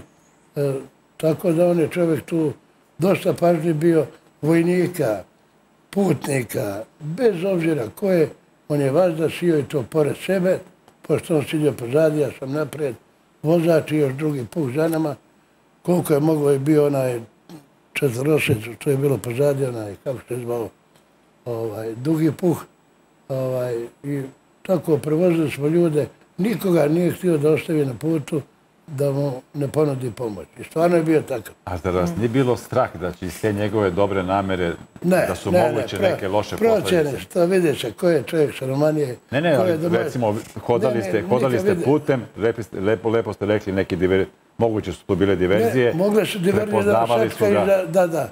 Ali ovi ljudi kojima smo mi stajali vrstu, vidi se to odmah šta je ko je. E, dobro. Nastavit ćemo mi ovu priču. Ja imam za vas jedno A pitanje. i- naš smo jednoga čobana. on je bio musliman. Držao je kišobran i u kišobranu je pušku. Ali smo znali da ima pušku i uzeli smo jednu. A kako ste znali da ima pušku? Pa bio je malo čudan, a malo je drveni kundak virio. A kako ste znali da je musliman? Čekajte, i to? Kao posle, kad su... Posle, kako se su ga ispitali. I kako, je prošao taj susret, pa da, čisto da znamo sve? Nešto, ja mislim, to je bilo na početku, samom početku rata. Još nije ono, nisu počela ovaj, da se razbuktavaju borbena dejstva. Ovaj, nije ništa, ovaj, rat, ispitali smo ga služba, pustili ga u susjedno selo Krivače i on je otišao. Bio- Uzeli smo te mu, naravno, oružje. Za svaki slučaj. morao je neki šamar da padne. Ne, Ne, ne, ne, ne, to Ratko nije, nije dozvoljavao. A nije nam to bilo ni u... Sad Pravi ćemo- vojnici, Đorđe, sad to ne ćemo rade. da pogledamo još jedan prilog Whitney Houston i onaj čuveni film sa Kevinom Kostanom, telohranitelj. Gospodine Baltestanoviću, rekli ste da je ovo realno i mislim, meni se film dopao, Kevin Costner, Whitney Houston. I ste, bi li vi bili spremni da skočite ovako na metak u letu kao što je Kevin Costner u filmu do duše radio? Pazite, da ovo je jedna od realnih priča odnosa tog klijenta i telohranitelja i tih svih problema, jer vi prolazite kroz sve njegove strahove, a, radosti, privatno, poslovno i sve ostalo i gradite taj neki odnos i poverenja i prijateljstva i a ova se... Tih ličnosti ovdje. U, u suštini ja sam u Srbiji radio pa, za, za, za, za mnogi naši biznismene i estradu i... Ko, na primjer, iz estrade? Imamo li, imamo li neke slike iz režije? Evo, ja, ja molim ako imamo. Ima, ima. Tu je bila gospođa Jelena Karleuša, ovaj, radio sam za Milicu Pavlović. Evo, ovo je slika s diplomatske bezbednosti nas u Italiji.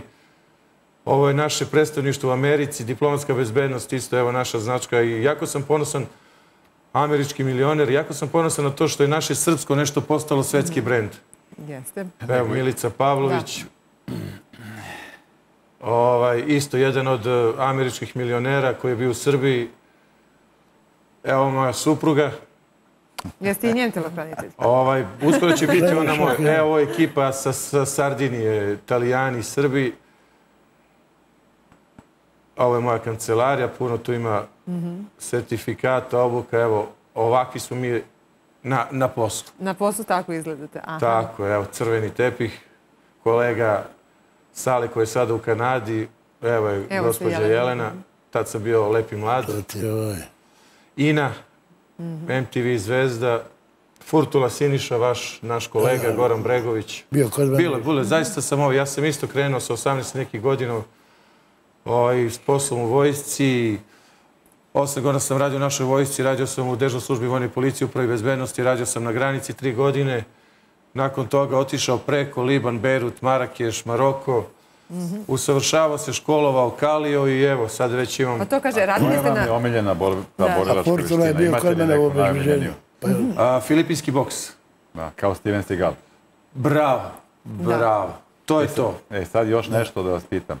Pre mnogo godina, možda ste tad bili u poslu čuvanja Jelene Karleuše, bio sam u nekom, to je bio Stupica klub, koji je bio ovako pun, i sad svi sede i tu nekoliko muškaraca stoji onako u, u, u sve sale oko nekih stolova.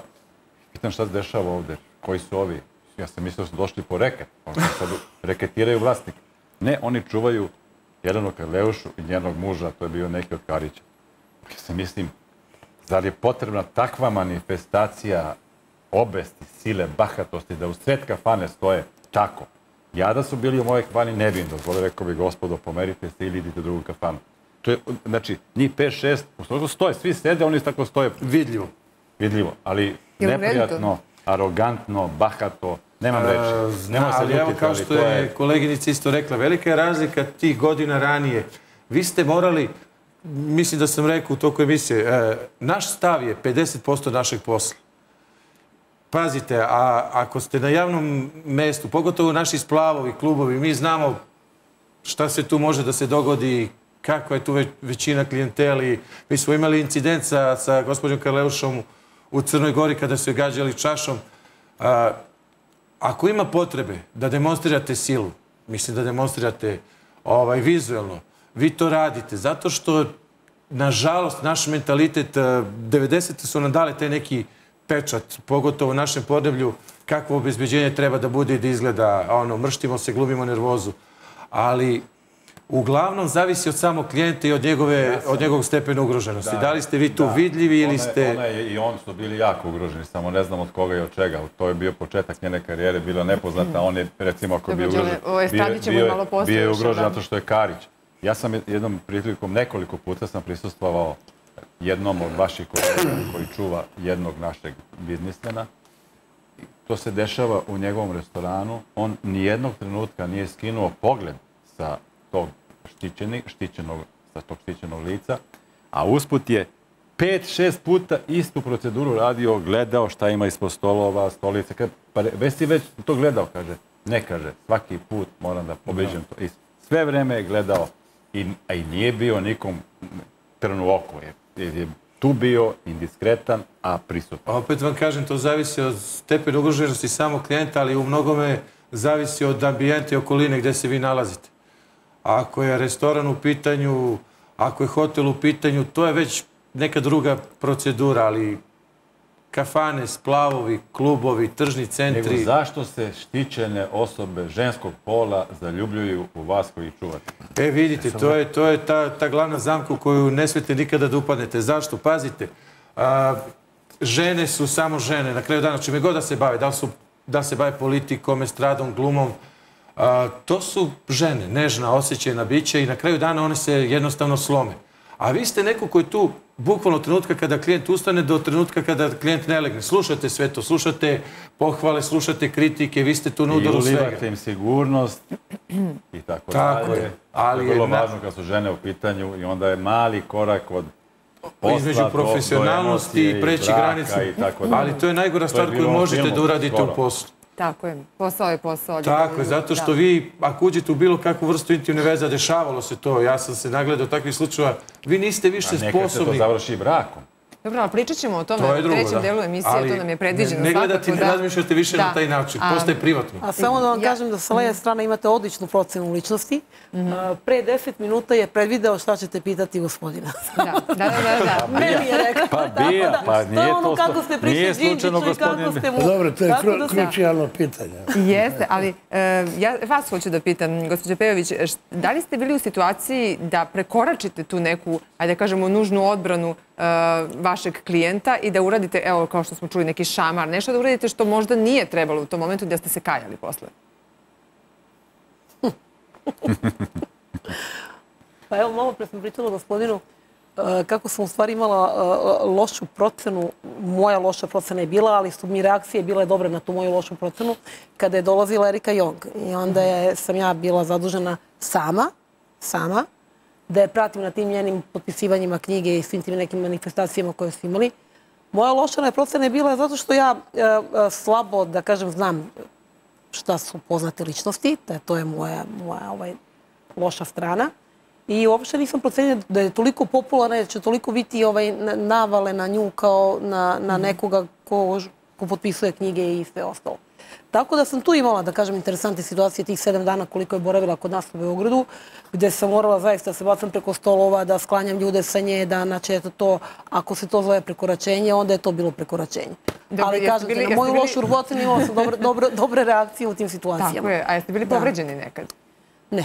Niste? Ne. A ne, opet kažem, uvijek sam imala, imala sam sreću u stvari, da imam dobar tim ljudi sa kojima sam radila I, ovaj, I to je to što smo šitili na neki način jedne drugi i pokrivali jedne druge. I samo hoću da se nadovežem na, na ovo što, što ste pričali malo pre.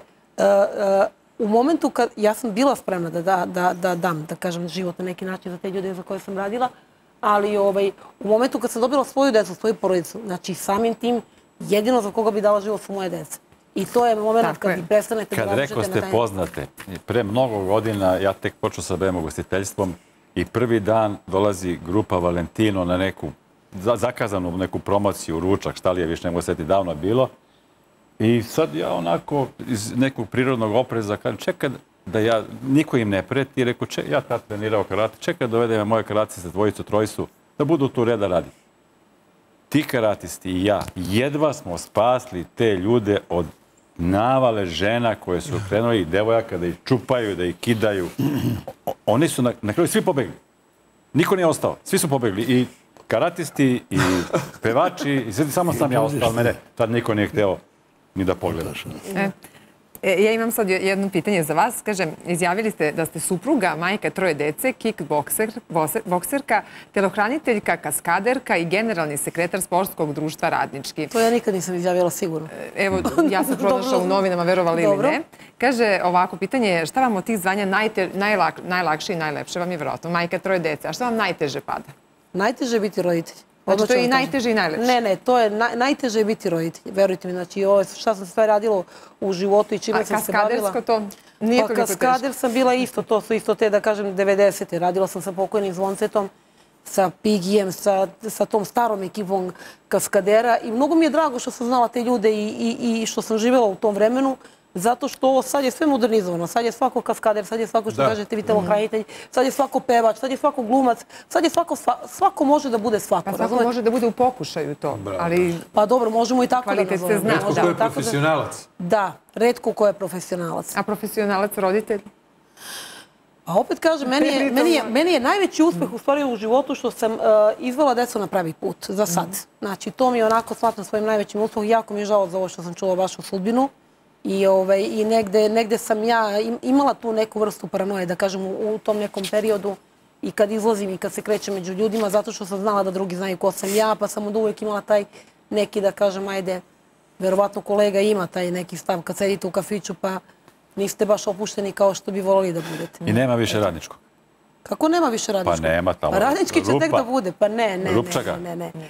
A, a, rupa iz koje će nići zgrada od 18.000 kvadrata i bit će radnički mnogo jači, mnogo lepši, mnogo bolji nego što je ikada bio u proteklih E, nevjerno će biti ikad lepši od onog vremena kada je tamo Čitaković, gospodin Čira ili Debeli, kako smo ga zvali, radio sa ljudima. Jeste. Kecman bio prvak sveta i tako dalje. I košarkaški klub žario i palio po Jugoslaviji. A, gospodine Roskiću, svima je poznato da je nekako ta bija, da je to nešto nedodirivo, da je to nešto kako bih rekla, ne može se dopreti dotle. E, kako se zapošljava tamo i kako se opstaje tamo? Bezbednostno-informativna agencija je vladina agencija koja je formirana i funkcioniše na osnovu zakona o BII. E, to je, dakle, javni, društveni i državni segment tajne metodologije. Dakle, ono o čemu se ne priča, što je e, uvek predmet nekakvih pretpostavki, predmet raznih filmova i tako dalje, knjiga i svega ostalog, to je metodologija rada. Kako se zapošljava? Kako se zapošljava? Veoma jednostavno. Dakle, internet, sajt Bezbednostno-informativne agencije, Konkurs.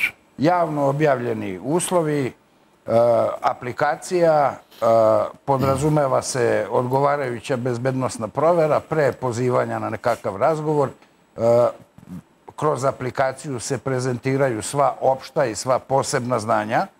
Moram vam reći da za razliku od vremena e, kad sam ja, e, nisam aplicirao, toga tada nije bilo, ali kad sam se zapošljavao, da su danas kandidati, e, pričamo o pravim, opredeljenim ljudima zainteresovanim za obavljanje tog posla. To su danas kandidati E, momci i devojke koji e, ne, ne govore samo engleski jezik, nego engleski još dva jezika koji su na planu opšte informisanosti zaista fascinantni, e, potpuno po ličnim kvalitetima zaslužuju da budu u službi koja traži strpljenje, koja traži stalno usavršavanje, koja traži mnogo odricanja, taman kao i u poslovima o kojima je danas ovde reč, to čovek koji nije spreman na tu, na tu vrstu ličnog davanja jednostavno ne može da radi.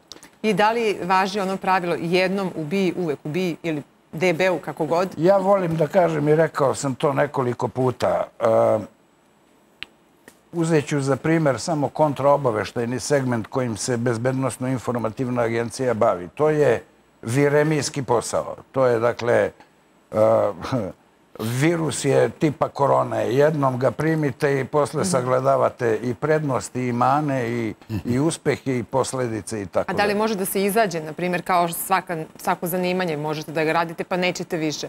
Kakva je stvar u BI? Da li, da, jer vi saznate mnogo toga što možda ne biste saznali kao neki običan građan. Obaveza koja se prihvata potpisivanjem na ulasku u, u uh, agenciju, potpisuje se na ulasku, ponavlja se potpis na izlasku, da sve što je tokom vršenja službene dužnosti radnik, pripadnik, jel te, e, saznao, dužan je da čuva kao državnu tajnu. Zato je predviđeno, ovo sad kažem kao advokat, e, dakle, Koliko i zakonska odgovornost.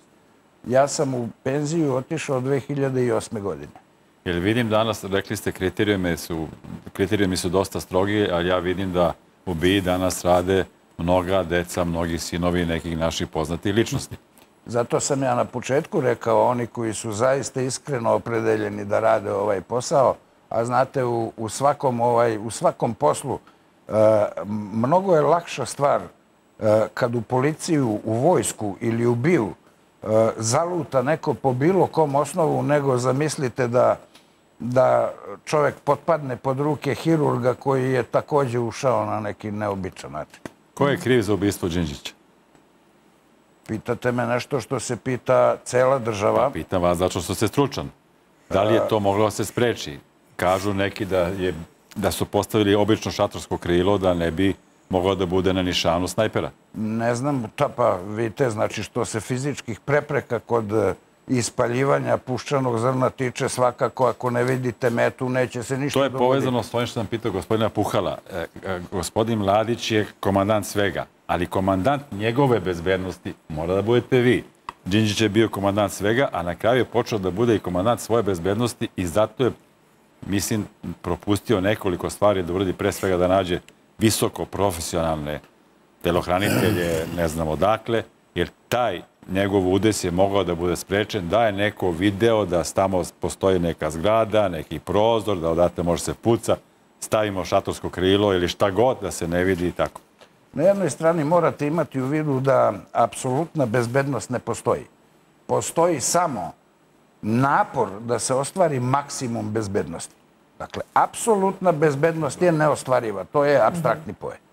Na jednoj strani. Na drugoj strani, štićene ličnosti kako državni funkcioneri, dakle kako oni koji se štite državnim resursima, tako i ljudi iz biznisa, sa estrade, iz sporta, znate, imaju svoje, svoje zahteve. Oni za tu uslugu plaćaju.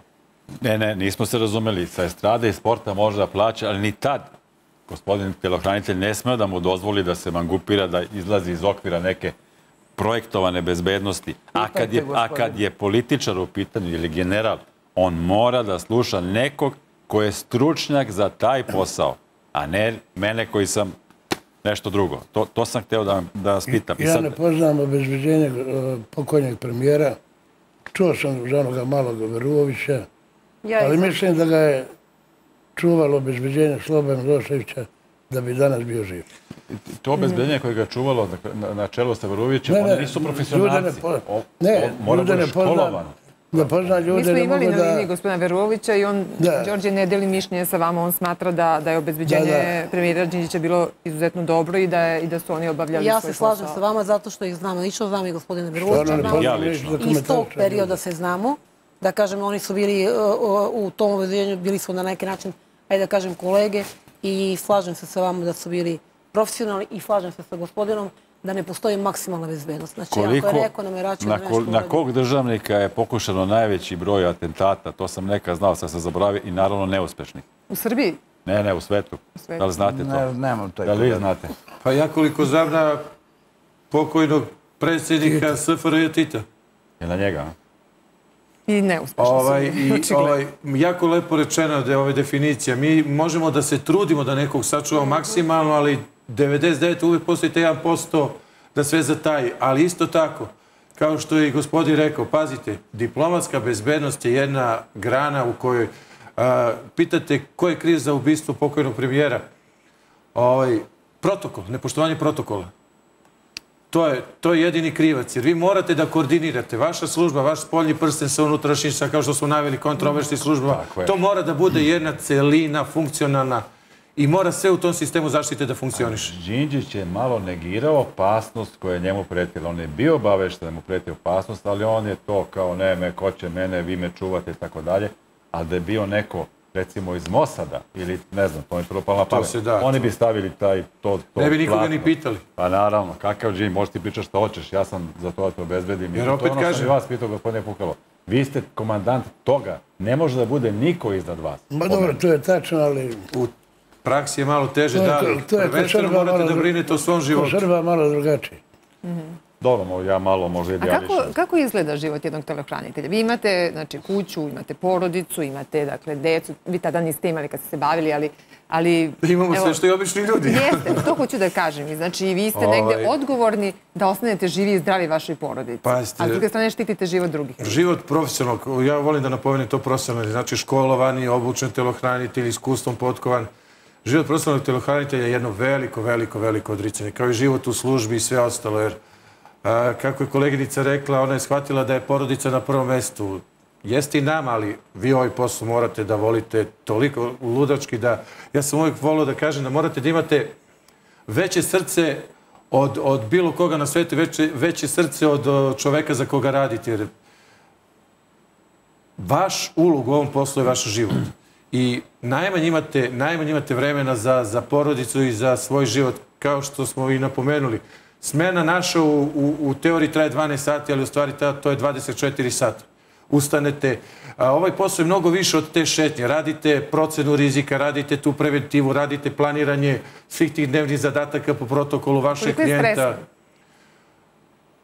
I da li je stresno? Pazite, jeste stresno, ali valjda nas profesionalce taj neki stres, taj adrenalin hrani, znači ne bi ostali. A od koga učite vi to? Iz, iz, od koje literature, od kojih službi? pazi, od ja sam, evo, ja sam 74. godište, sad sam u martu napunio 50 i tih godina kad sam i ja kretao, teško je bilo učiti od bilo koga, jer nisu bili ti neki postavljeni standardi profesionalnosti, ali ja sam se trudio, a, naj, najgora stvar naše posla je sujeta. Sa kime god sam radio, ja sam ga vuko za rukav, pitao, a radio sam sa mnogim ljudima tada, starim od mene, i službe, i vojne, i policijske, i trudio sam se, nikada nisam udrao da nešto znam ili se pravio da znam. Slušao sam, učio, upio, gde god sam putao po svetu radio, ja sam se trudio u odnosu na mogućnosti da tamo završim neki kurs ili obuku, bez obzira da li će to da mi treba ili ne. To je neko iskustvo, to je neka, neko vaše umrežavanje. Ja imam preko 60 sertifikata iz celog sveta. I nik, vi nikada niste dovoljno pametni, dovoljno naučeni za ovaj posao. Pogotovo, pazite, tehnologije idu, sve to odlazi nekim drugim tokom. Usavršavati se za ovaj posao je nešto što traje u kontinuitetu. Da li kroz obuke, da li kroz praksu, da li kroz teoriju. Ako neko ima takav pristup koji je potpuno ispravan kao što ga vi imate, ali mnogi imaju pristup da dovoljno naprave bicepse 52 Tako je. cm, pa će da oni da to... Da, nešto da. Zato završe parcelu pored klijenta. Tako je, tako. E, sad ćemo mi pogledamo još jedan ili dva priloga. Seka Aleksić i Veljko Piljkić, pa ćemo da nastavimo da pričamo. E, pogledali smo ovaj prilog, a sad ćemo da pogledamo još jedan, još jedan prilog koji se zove Pudo zvezda, Lepa Brena, a naravno posle se vraćamo ovim zanimljivim razgovorima. Zanimljivi prilozi, gospođo Mandić, ja moram vama da se zahvalim što ste pustili ovaj prilog sa Lepom Brenom, da je ona otpevala moju najomiljeniju njenu pesmu je? ja nemam drugi, dom, osim Yes. doma u srcu. Hvala vam. Nema na čemu. Gospodine Br Br Brcecanoviću, kažu da je Lepu Brenu u Hrvatskoj čuvalo od 2009. godine 2000 policajaca. Je to moguće? A, pazite, šta znači čuvalo? Pa bili su tu nešto. Obezbeđivalo na- Bili su koncert tu, je imamo, imamo i snimak, ovaj, ja mislim da su Brad Pitt i Anželina kada šetaju, čuvaju ih policajci i kada se onaj sa makazama zaleteo i zamalo mu probu urazio vrat. A, taj neki spoljni prsten obezbeđenja, to je, a, mislim da nije, da nije adekvatno. Može da je, moglo je da ih čuva i 10.000 policajaca. Ali ako uz vas nisu profesionalci, neposredno uz vas, sve je to uzaludno i džabe. A, mislim da je to više onako za javnost nešto pompezno kao preventiva i kao sad ajde da predupredimo nešto, ali ako je neko tad stvarno bio naumio da nešto uradi, teško da bi bilo ko od tih policajaca reagovao. Pazite, 2000 policajaca. Gde su se oni nalazili? Pa nisu oni čuvali nju, obezbeđivali koncert. Tako, tu postoji više Da, ali perimetara zaštite, ali ulazi. evo imamo znači, situaciju, ona peva znači, pesmi Ja sam Jugoslovenka i znamo da, da je ona znači, na, na Balkanu praktično bila najveća zvezda. Evo, to je znači, bilo nepo- neposredno, znači, malo već posle rata u bivšoj Jugoslaviji. Um, da li mislite da je tu taj neki nacionalni faktor igra ulogu i da je zbog toga bilo toliko? Pa ja ne vjerujem da je to kod nje baš u Zagrebu, šta ona, ona nema, nije imala nikakvih problema da boravi u Hrvatskoj, pogotovo da napravi koncert. A to što kažu da je obezbeđivalo 2000 policajaca, to su ljudi obezbeđivali koncert, znači to što treba se desi, oni su to obezbeđivali, a nisu lepo brenu. Lepa brena imala vjerovatno za se 4-5 momaka, možda 2-3 i to je to. Ali vi kad vidite, pa vidite sad na utakmicu Zvijezda Partizan obezbeđuje kordone policije, brate. Jeste, jeste. Ono tamo kad se prođe pored Marakane... I to ujutru dođu 8 sati, instaliraju se kao da manje boraca u ratu išlo u borbu nego što ima sad oko Marakane. A jel mislite da je potrebno toliko? Pa, vidite, između ovih navijača... Zamislite da ih nema toliko, a da nešto se dogodi? Ovo je unapred, da se ne bi desio, ovaj, oni već na početku razdvajaju i smjeravaju te grupe kuće ići, kanališu da ne bi došli do susreta i do tuče kako znaju da naprave. Mislim da, ali da su veliki troškovi jesu. Jesu, jel da? Gospodin Roskiću, Kako bija, dakle, kakav ima stav bija prema tim javnim ličnostima, pevačima, glumcima? Da li, da li i vi i kod njih tu vodite računa tek tako ili prosto mora da bude neki input da su oni u nekoj situaciji neke e, ma, e, zone nebezbednosti i tako dalje? Bija je kao vladina agencija zadužena za tri oblasti, znate. Jedno je, e, dakle, kontraobaveštajna zaštita državnih interesa, drugo je e, međunarodni organizovani kriminal i treća oblast je međunarodni terorizam. Mhm. Ukoliko bilo koja ličnost upadne u neki od ova tri segmenta, bit će predmet interesovanja. U svakom drugom slučaju, ko peva, ko ne peva, ko glumi, a ko lošije glumi, je stvar van interesovanja bezbednostno-informativne agencije. Dakle, javne ličnosti u tom segmentu nemaju nikakvi dodirni tačaka. Ako upadnu ono što je zakonska nadležnost na bilo mhm. koji način, jel te? A često upadnu? Ne znam šta se posljednje godine... Koliko ja znam, vrlo često upadnu, pa su predmet raznog interesovanja. A primjera radi, e, pa primjera radi, imali smo evo situaciju, baš malo prepomenute Seke Aleksić, gde je uhapšena, zapravo nije ni uhapšena, nego je privedena da li u Cirihu na aerodromu zato što nije imala prijavljenu valjda dozvolu i tako dalje. Da li to spada u neki domen? Da li to bija nešto proverava policija? Kome se to šalje? Ništa, dakle, pogranična policija kontroliše pogranične prelaze. Tako je, znači to bija nema nikakve... Svojom metodologijom i tako Znači ne trošite resurse na tu granu? Pa ne, ovaj? nego prosto to nije predmet interesovanja i nema nadležnosti. Mhm. A kakve... Vi morate znati jednu stvar. Ovaj, a očigledno je to nepoznato. E, dobar deo pripadnika Bezbednostno-informativne agencije uopšte nema policijska ovlašćenja. Da, da.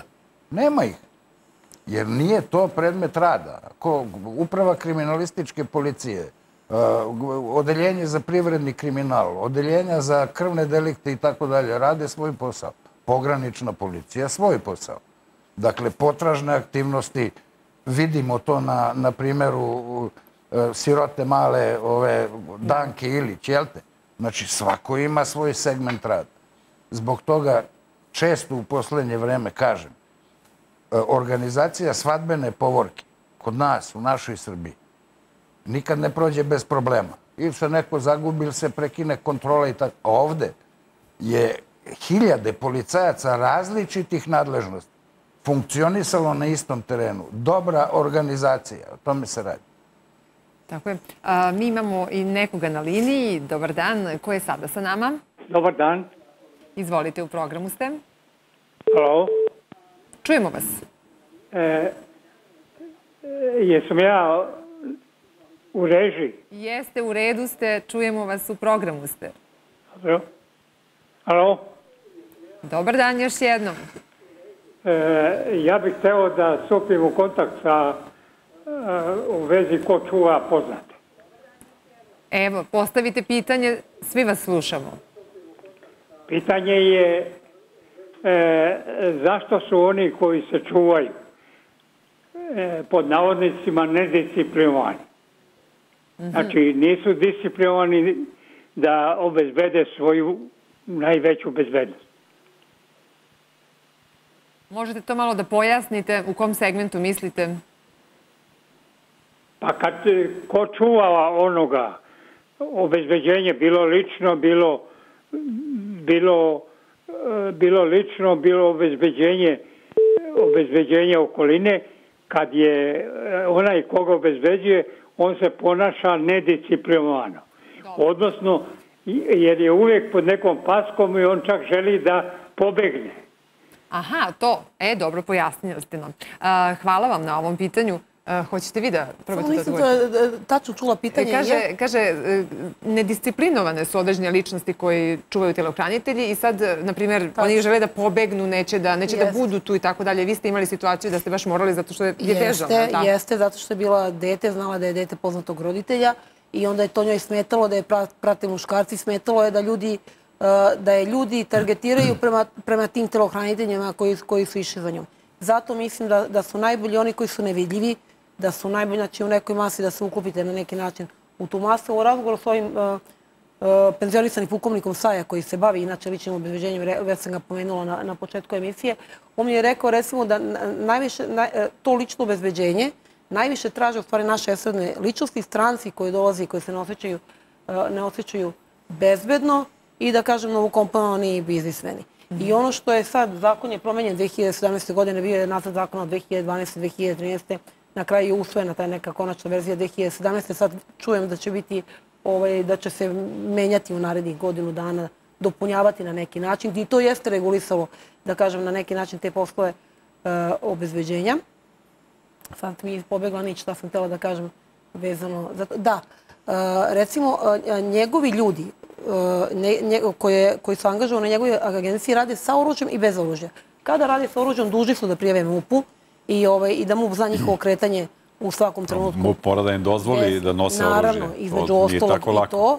Pa, zato i kažem regulisane zakone i ne bave se za...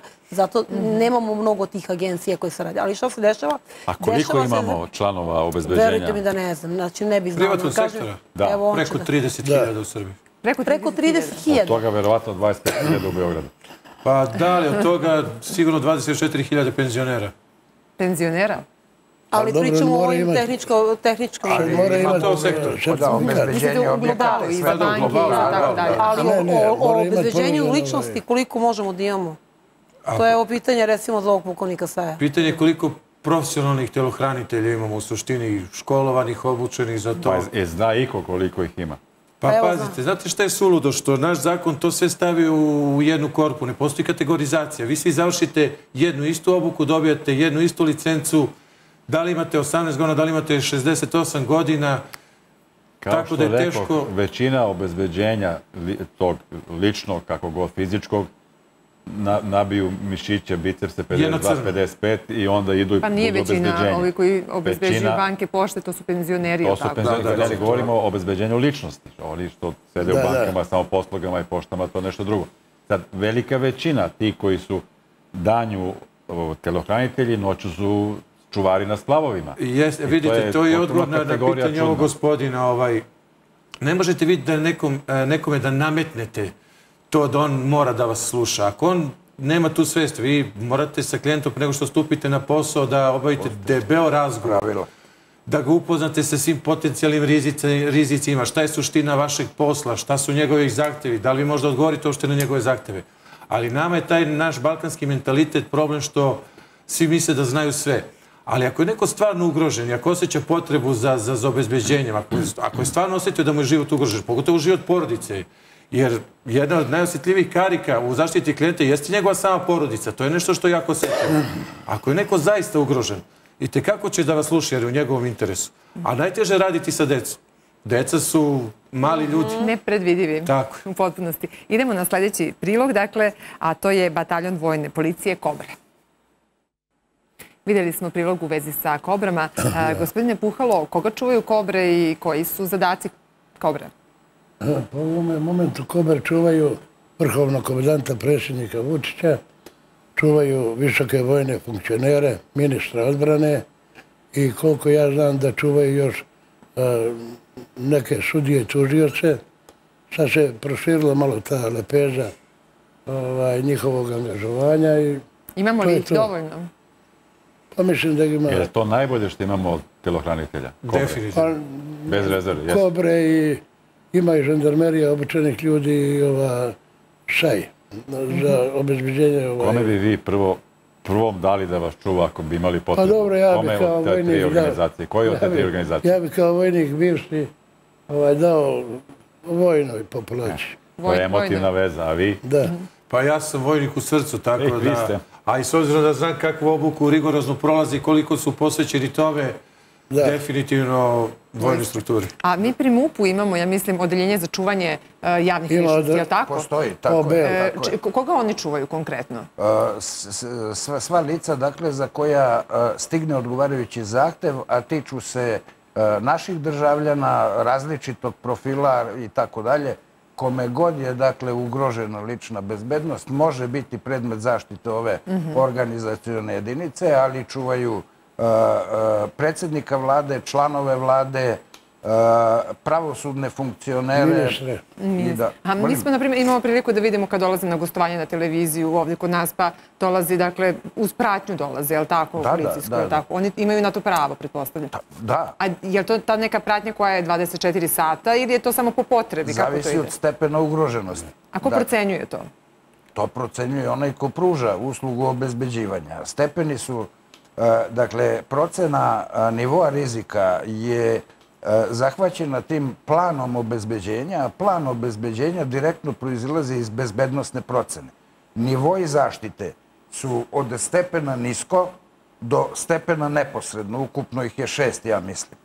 E, neposredna ugroženost zahteva najviši stepen, ovaj, najviši stepen obezbeđenja. I ako dozvoljavate dve godine, e, dve godine e, me je neposredno obezbeđivao pripadnik Kobri koji je za vreme bombardovanja iz Kobri preuzet tu službu i e, znači najbolji, najbolja ilustracija našeg odnosa je da smo i dan danas prijatelji, Prijatelji. Bez, bez ikakvih prepreka, do kraja. to, to je stvarno lepo. Da.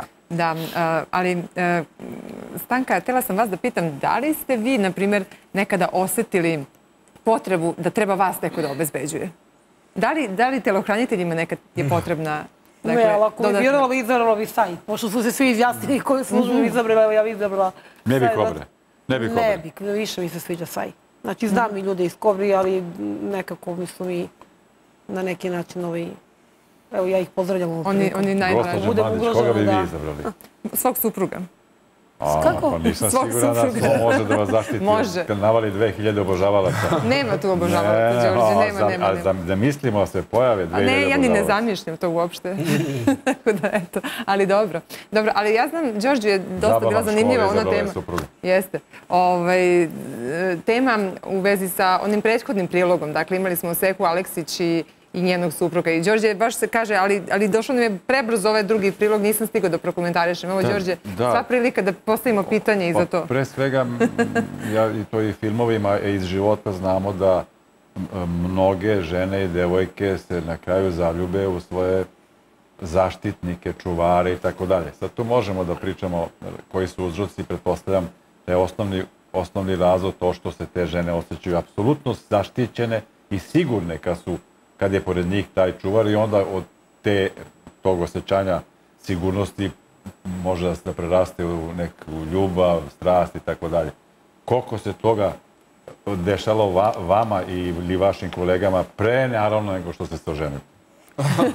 dobro, dobro. Izvolite. Pazite, Rizik je podjednak. Da, da, bravo, vremenski da. period. A, Kažem vam, dešava se. A, taj neki odnos, a, vi živite život vašeg klijenta. I kao što sam napomenuo, vi prolazite kroz sve njihove životne situacije, stresove, probleme, e, radost, ali jedno ako se tu desi, ne znam, neka romansa ili nešto, a drugo je kao što je u pitanju, kao što su u pitanju Seka i Veljko, gde se je dogodio brak koji je, eto, krunisan ljubavlju, decom i svime. A, ono što hoću, ono, ako se to desi, po meni, to je trenutak kada vi više niste telohranitelj i ne radite taj posao za tog klijenta, jer ste, da. vi postajete, ne znam, suprug, I doživotni telohranitelj. doživotni telohranitelj. Ali, Poznajete Veljka? Besplatan. da, da. Besplatan, eto. Hoćemo da E, pozdravimo gospodina Veljka. Evo, ovim putem pozdravljam i, i I ja. Seku i Veljka. Ovaj, Ja. Veljko je vrhunski profesionalac i sportista. Mi smo sticam okolnosti i, i odrastali zajedno i radili po klubovima. Ovaj, e, dešava se, ali vam kažem, onda treba da ostavite taj posao i onda prelazite u neku drugu branšu. Postajete Pa, otac, suprug pa, i da, tako dalje. Znači, ne možete da radite... Ja mislim, Đorđe, da, čuvali. da, da tebe zanima još jedno pitanje, a i mene zanima. A koliko ste plaćeni, vi telohranitelji? Je li, je li imate dobre plate? Pazite, profesionalni telohranitelj, ja sam u suštini jako zadovoljan. Moja dnevnica u Srbiji je nekih 150 eura. Ali, Pa koliko sati? pa pravilo je 12 sati, ali uvek računate da vam je posao 24 sata. E, Ne spavate vi sa klijentom, ne živite u toj kući. Postoji takve Sem situacije kada se... u Da, ako da, se da, da. zaljubi. Jer na, na rezidencijama, na objektivnim kućama postoji posebno obezbeđenje, fizičko-tehničko, ali ovo je posao, ako, ako imate klijenta koji radite puni 24 sata, 30 dana u mesecu, ovaj, i ako ste zaista profesionalac, šta, šta je u vašem poslu znači profesionalnost? Dobra reputacija, preporuka bivšeg klijenta, zadovoljnog klijenta, to je ono što može da zaista donese prihode od kojih možete da živite. Pogotovo ako radite sa strancima koji dolaze u Srbiju ili odlazite preko, imate tu neku profesionalnu reputaciju. Zaista može lepo da se živi od tog posla. Može, jel da? Um, Ja bi ovom prilikom, Može, izvolite. ako nemate šta protiv, da pozdravim sve bivše borče, veterane Republike Srpske, Republike Srbije, u stvari Srbije i Jugoslavije, koji su branili i štitili e, E, našu zemlju od NATO agresije, a posebno bi da pozdravim jednog velikog čoveka, pripadnika 549. herojske brigade, Dušan Silni, čoveka koji je učestvovao na Paštriku i na Košarama, čoveka koji je rehabilitovao i Dražu Mihajlović je napravio mu spomen sobu ovdje u Beogradu, čoveka koji dosta pomaže boračkim organizacijama, predsjednika naše drine ekološkog pokreta, predsjednika boračke organizacije Republike Srbije i Republike Srpske, ima jedna organizacija koja je napravljena nova, i generalnog direktora Srbija šuma, gospodina i brata Igora Braunovića. Pozdrav Igi, zdravo bio. Evo i mi se pridružujemo pozdravima. Um, gospođa Pejović, ja hoću vas da pitam, evo, is- proverili smo kako to na muškoj strani izgleda. Vi ste bili mladi, 18-19 godina, kada ste I ušli u dalje te je vode. mlada gospođa. E, de- ali Nemoj ne, to u tim bili, i dalje ste vi mladi. Koliko je to bilo znači, izazovno? Znači, vi među tom jednom zonom, prstenom tih muškaraca, koliko su vam se udvarali? Da li ste bili prosto onako Niko, verovali egzotika? ili ne. Znači, niko mi se nije Ja ne udvarao. verujem. Smatrali su me Ja ne verujem. kolegom. Dobro, ne morate da verujete tako. Se niko nije udvarao, nemoguće. Pa to je Ali nemoguće. hoću da kažem, e, taj period života me na- neki način formirao za, za, kasniji, za kasnije nešto što me sačekalo u životu i mogu da kažem da me na neki način zaista ojačalo, jer sam ja bukvalno od malena, znači, mislim od malena, od, inače sam dete vojnog lica, isto je kapetan prve klase kao i, i, i, i gospodin preko puta mene. Tako da ovaj, e, mi, deca vojnih lica, smo na neki način specifični. Plus taj život koji sam vodila, nekako me pripremilo za sve ono dalje što me je snašlo i veoma sam zahvalna na tome. I evo ja ću da se pridružim pozdravima isto ovaj, sve koji ste pozdravili i pozdravila bih s- sve pripadnike vojske, policije i garde i ljudi koji su branili Srbiju i našu krajinu i 90. godina. Na neki način, evo, hoću da znam, da, hoću oni da znaju da ih se neko seća i da ćemo ih se sećati. I uvek ćemo ih se sećati. I treba tako. Uh, gospodine Roskiću, e, da li vi imate nekad situaciju, da li ste bili nekad u situaciji da se osjećate k- kao da, da vas smatraju da ste, ajde da kažemo, špijun u, u društvu? Je li bilo toga? Izvinjavam se na ovom pitanju, ali, gledalci žele da znaju.